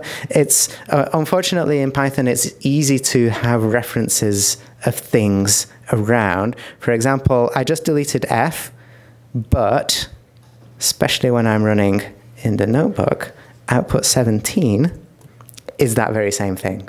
Now output 22 is also that same thing. So you would have to delete all of them or more realistically run these things within a function because when functions end, then the things that they were working on get uh, garbage collected. So a, a, little bit of, of care is useful. In a case like this, where I'm trying to demonstrate, you know, what everything looks like, then it's not really tractable to actually get rid of anything. Fortunately, none of these things actually take up any memory, so don't worry about it for now. Um, there is only one last piece of this uh, notebook, and this is an actual asynchronous computation. And again, it's physicsy because this is SciPy. You're supposed to like this kind of thing. Uh, this is an optimization problem and a really stupidly simple way of finding the minimum of this function, which is called Rosenbrock even this function is too fast, so there's a, another sleep in here just to make sure that this does take some time. In fact, I'll put this up a little. And a certain amount of uh, boilerplate that you don't need to worry about. This is making some input. So we'll have a, an array, x and y grid to evaluate this thing on. Um, and the output. Uh, the, the reason is so that we can visualize it. None of this has anything to do with the computation itself. The computation is here, and it's kind of long. And it looks a little bit complicated, but you don't need to worry about most of this. Most of this is um, what we're going to be doing is to evaluate the minimum of this function. We're going to choose random numbers. and evaluate the function and see if the output is smaller than the best lowest value that we've had so far. It's a very simple way, brute force way to try and minimize a function. So what we do is we pick a point and we pick some, some start scale around it. So uh, uniform is going to make us some points, some random points between Scale is just a, a, search box size. So we're going to pick 10 points in the vicinity of 0, 0. 0, 0 is not the minimum. And then we're going to submit each of these as inputs to Rosenbrock function to be evaluated on the cluster. We're going to use this new magic that we haven't seen so far, which is also imported from Dask distributed called as completed. And we're going to use this to view the results as they become available. Each time a result is available, we are going to investigate its result. We're going to see, is this point better than the best point we've had so far? If so, we're going to update the best score and the best point so far. Also, each time a result becomes available, we're going to submit, well, we're going to make a new point again, randomly distributed, and we're going to submit it to the cluster also to be evaluated. So we're always going to have 10 points in flight at any given time. And as they come back, we're going to, each time one comes back, we'll submit a new one until uh, we are close enough to our best, smallest value of the function. Other stuff in here, there is plotting. So this is to do with bokeh plotting. Uh, this is to do with bokeh plotting. Don't worry about it. This is just going to show up on here and ho hopefully show up fairly nicely. Um, the reason for using bokeh is that you can dynamically update the plot. So now you can actually not only dynamically run your computation as the results come in, you can also visualize the output as it gets completed. So let's make it go. You can see here the points, and they are converging towards this value. You also see this bar never gets completed. There are always more, more points to be evaluated until we reach a stopping criterion. And you can see basically we've already found the best point here. And there we go. Now we've stopped. Now we're, we're right down here. And the best value at the end of all of this is 1, 1-ish. These were the best values as, well, these are the function values and the point at which they were evaluated as we were going on. Each time we had a, a better point. So we didn't actually get that many better points as we went through a handful of times. But we did still manage to converge down to this spot. This is just a logarithmic version, 2D view of the same thing that is plotted here. This is the MATLAB view. This is the bokeh view. This is probably more informative. um, many function evaluations. So this is not any way or shape an efficient way of finding the minimum of this function, but it's a, a nice little example. Um, I'm going to, this is the last thing that I'm going to show. We're going to wrap up here. So if you have any comments or questions about this piece, then we'll have those first, and then we'll, we'll uh, leave you with a few words. We can do machine learning if people want. To. We have the notebook. We have the notebook. It runs. Do people are people interested in machine learning? Yeah. Yeah, yeah we can run it. I think it, it, mostly works. It's a little out of date, so apologies, but uh, uh, yeah. Questions on this first, though. I'll take this moment to remind you that there will be the Birds of Feather session and the sprints for those that are interested. Um, Dask is going to crop up mentioned in a few of the talks that are happening as well. Um, do you know when those are? Oh, okay, so check your calendars. there's a there's a talk on DaskML Friday morning by Olivier Grisel. That's the only one I know of. Oh, cool. Go ahead. Yeah. Jim Crist is also giving a talk on debugging Dask. Matt Ra Rocklin's giving a talk on advanced Dask techniques. Um, yeah, there's a few others. Um, Dask is also, so it's not just like Dask, the library and Dask data frame, uh, those sorts of things. Uh, libraries like Xarray, um, p- people may have used, uh, uses Dask internally to parallelize their and make their computations run out of core. Um, Image is giving a tutorial in this room later. Uh, has some new stuff for doing applying functions in parallel using Dask. Okay. Um, I'm gonna. Oh yeah. Uh, before you move on, whoops. Uh, you can close down your cluster. Uh, sorry. Yeah, from the previous notebook. Just to free up those workers. Um, uh, I think it was closed. Okay, machine learning. So uh, there's this library called DaskML that uh, we've been working on, trying to see what a you know large uh, what what scikit-learn on a cluster looks like, basically. Um, so that's what we've been playing around with, uh, and this notebook goes through a bit of that.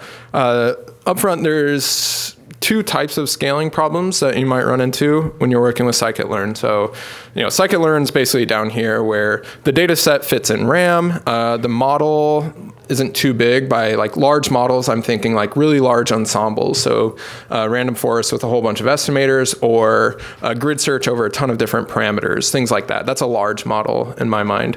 Um, scikit-learn works really well for things that aren't too big along either of those dimensions. Um, once you start getting into very, very large models, so big grid searches, randomized searches, um, then you want to, you're happy with scikit-learn, you just want to distribute the work across more workers. So that's what we'll see first.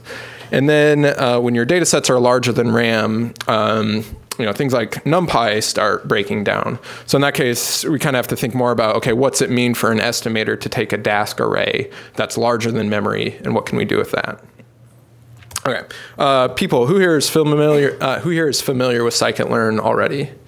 Okay, um, if not, there's a tutorial tomorrow, a full day tutorial. Oh, I guess you have to sign up for tutorial, so uh, maybe you signed up for it. Um, it has a pretty um, you know, like a, a, simple, a small API, I guess, uh, for how you uh, fit models. So the idea is that you have some data, typically NumPy arrays, um, and you have an X in this case. We're just going to make random data here. So we have an X and a Y. Uh, these are uh, small data sets, data sets. So X dot shape is just uh, 10,000 by 4. So it's a small data set.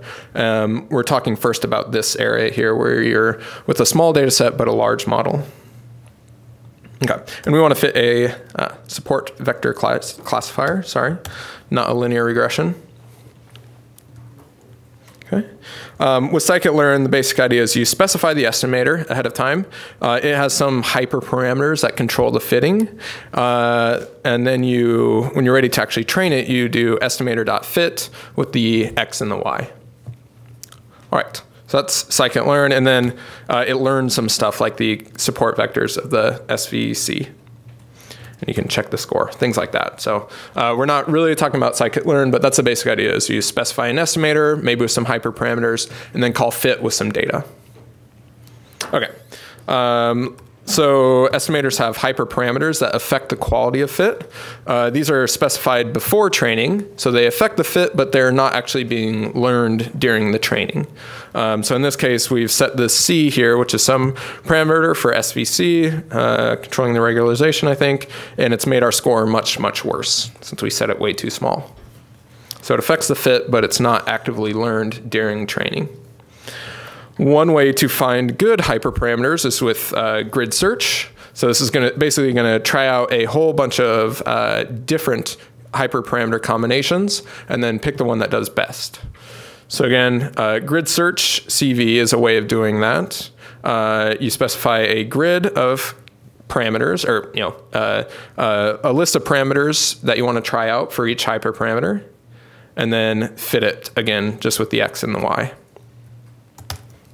Okay, so that's scikit-learn. Sorry if you're already familiar with it. Um, this is going to take a little bit longer because it's trying out all four of these combinations. It's doing some cross-validation that we're not going to talk about, but it ends up with fitting eight different models and then telling us which one was the best. Okay. All right, so scikit-learn. Um, scikit-learn, if you've used it before, you've probably seen this n jobs uh, keyword here. Uh, this controls how uh, things are fit in parallel. So if you think about this grid search, right, there's uh, we're fitting you know four different combinations of parameters and two CV splits of each of those. So there's eight models fit in total, and those can be fit completely independent of each other.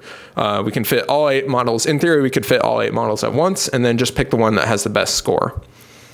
Um, scikit-learn does really well at that for single machine. Okay, so you say I want n jobs equals minus one, and this will take you know it's not quite times eight. it's not quite eight times as fast, but it's faster. Um, I don't know if I timed the whole thing. Oh, I think I did. Yeah, it's refitting the final model here. Anyway, it took um, some time before, so 32 seconds, and this time it took 15 seconds, so about twice as fast. All right, that is single machine parallelism uh, with scikit-learn, which works well for data sets that fit in RAM and models that aren't too big. What if you have a much larger model? Um, so again, we'll connect to our cluster here. Hopefully I get some workers. I should have done, done this earlier. Okay, I got my workers. Connect to the cluster. I'm going to open up the UI.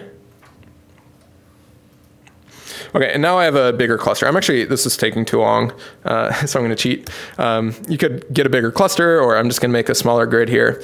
Um, so, so now instead of like uh, eight uh, combinations, we're going to have uh, 90 different ones. Um, and the only thing, like the API is the same. You're still going to specify your estimator. Uh, and you're still going to uh, call you know estimator.fit with the x and the y. The only thing that changes is that we're going to do this inside of this parallel backend context manager. So I kind of skipped over it, but scikit-learn internally uses joblib to parallelize things on a single machine. And there's a way for projects to say, hey, uh, I can also do stuff in parallel. Uh, we Dask has done that work to talk to JobLib to say, hey, uh, I know how to run your your task in parallel, so that when scikit-learn reaches this section of code that can be run in parallel, uh, it reaches, it checks the context and says, okay, what backend am I under? It's going to be under Dask uh, backend, and so your stuff will happen on the cluster, basically.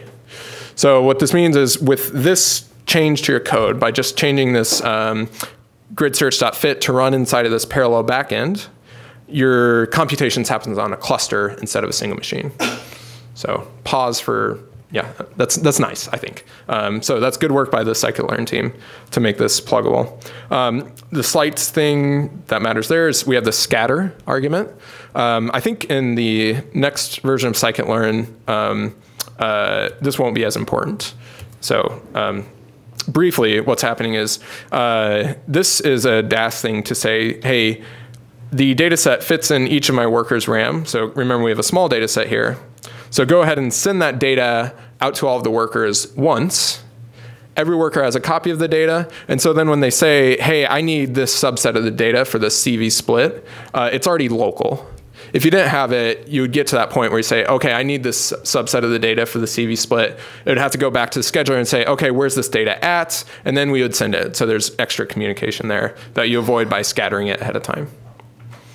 All right. Any questions on that? Okay. Cool. Thoughts? Comments? Yeah? Okay. So the key thing with this is it only works for data sets that fit in RAM. We're still using scikit-learn to do the training. Uh, and yeah, so, so that just works for, scikit-learn only works on in-memory data sets, basically. So what do you do when you have a larger data set? Um, we're going to generate some data here. Uh, like I said, I didn't think we would get to this notebook, so I didn't update it. Um, but uh, this stuff, it's, it's, it's using Dask delayed to do a bunch of uh, um, generating some random data. We can also do um, daskml.datasets and do daskml.datasets.make blobs. Um, similar sort of thing. It would do the same thing with uh, one line of code, but oh well. So we have 16 gigs of data on the cluster. Um, each of our workers has, I think, four gigs of data, maybe. Um, so it's the data set is larger than any of our individual workers' RAM. So we're definitely like in an out-of-core distributed uh, regime here. So DaskML re-implements some things from scratch. Um, there's uh, things like from DaskML dot preprocessing, um, you know, ordinal encoder, robust scaler, standard scaler, these sorts of things um, work quite well. There's um, like decomposition, there's like PCA, truncated SVD. Um, so there's, we've done some things We've done k-means. Um, this is, you know, it's a lot more work to re-implement an estimator, basically. Um, so, uh, but yeah, it's uh, k-means. It's going to run on the cluster here, and you'll kind of see there's some like initialization stuff that's happening where we're picking a set of initial clusters here, um, and then there's going to be some your basic k-means algorithm where you're doing the the points, you know, of the current set of clusters. Uh, um, find the closest point the closest cluster center to each point, and then uh, updating the cluster so that usual k-means algorithm. It's going to be happening on the cluster. Um, I'm not sure what happened here. Do I still have a kernel? I think I still have a kernel. So that's happening in the background, um, and it'll finish. I'm not sure how long it takes, but it'll finish eventually. Um, yeah. So I guess at this point, um, I'd be curious in talking to people. So this is all at uh, DaskML. Uh, it's all at DaskML. So if you're interested in doing you know, scalable machine learning, uh, I'd encourage you to check it out. Uh, file issues if you run into any issues. Uh, it's a younger project, so we're we're putting it together. But yeah, any questions or? Yeah, have some questions on this DaskML. Do you have like a uh, like a roadmap yet built for this, or like when things are going to get is that in the read? We have a an issue for roadmap. So if you want to define that uh, uh, roadmap, we have some things uh, on this uh, issue here. So um, yeah, this is a, a, a very uh, scattered version right now. But yeah, if you want to help define the roadmap, please comment there. Uh, we we're interested. So any other questions? Um, general questions? Um, yeah. Um, cool. So Martin and I will be around all week. If you have uh, feedback on the tutorial, especially critical feedback, we would greatly appreciate that. So um, yeah, otherwise, thanks uh, for joining us, and I'll see you around.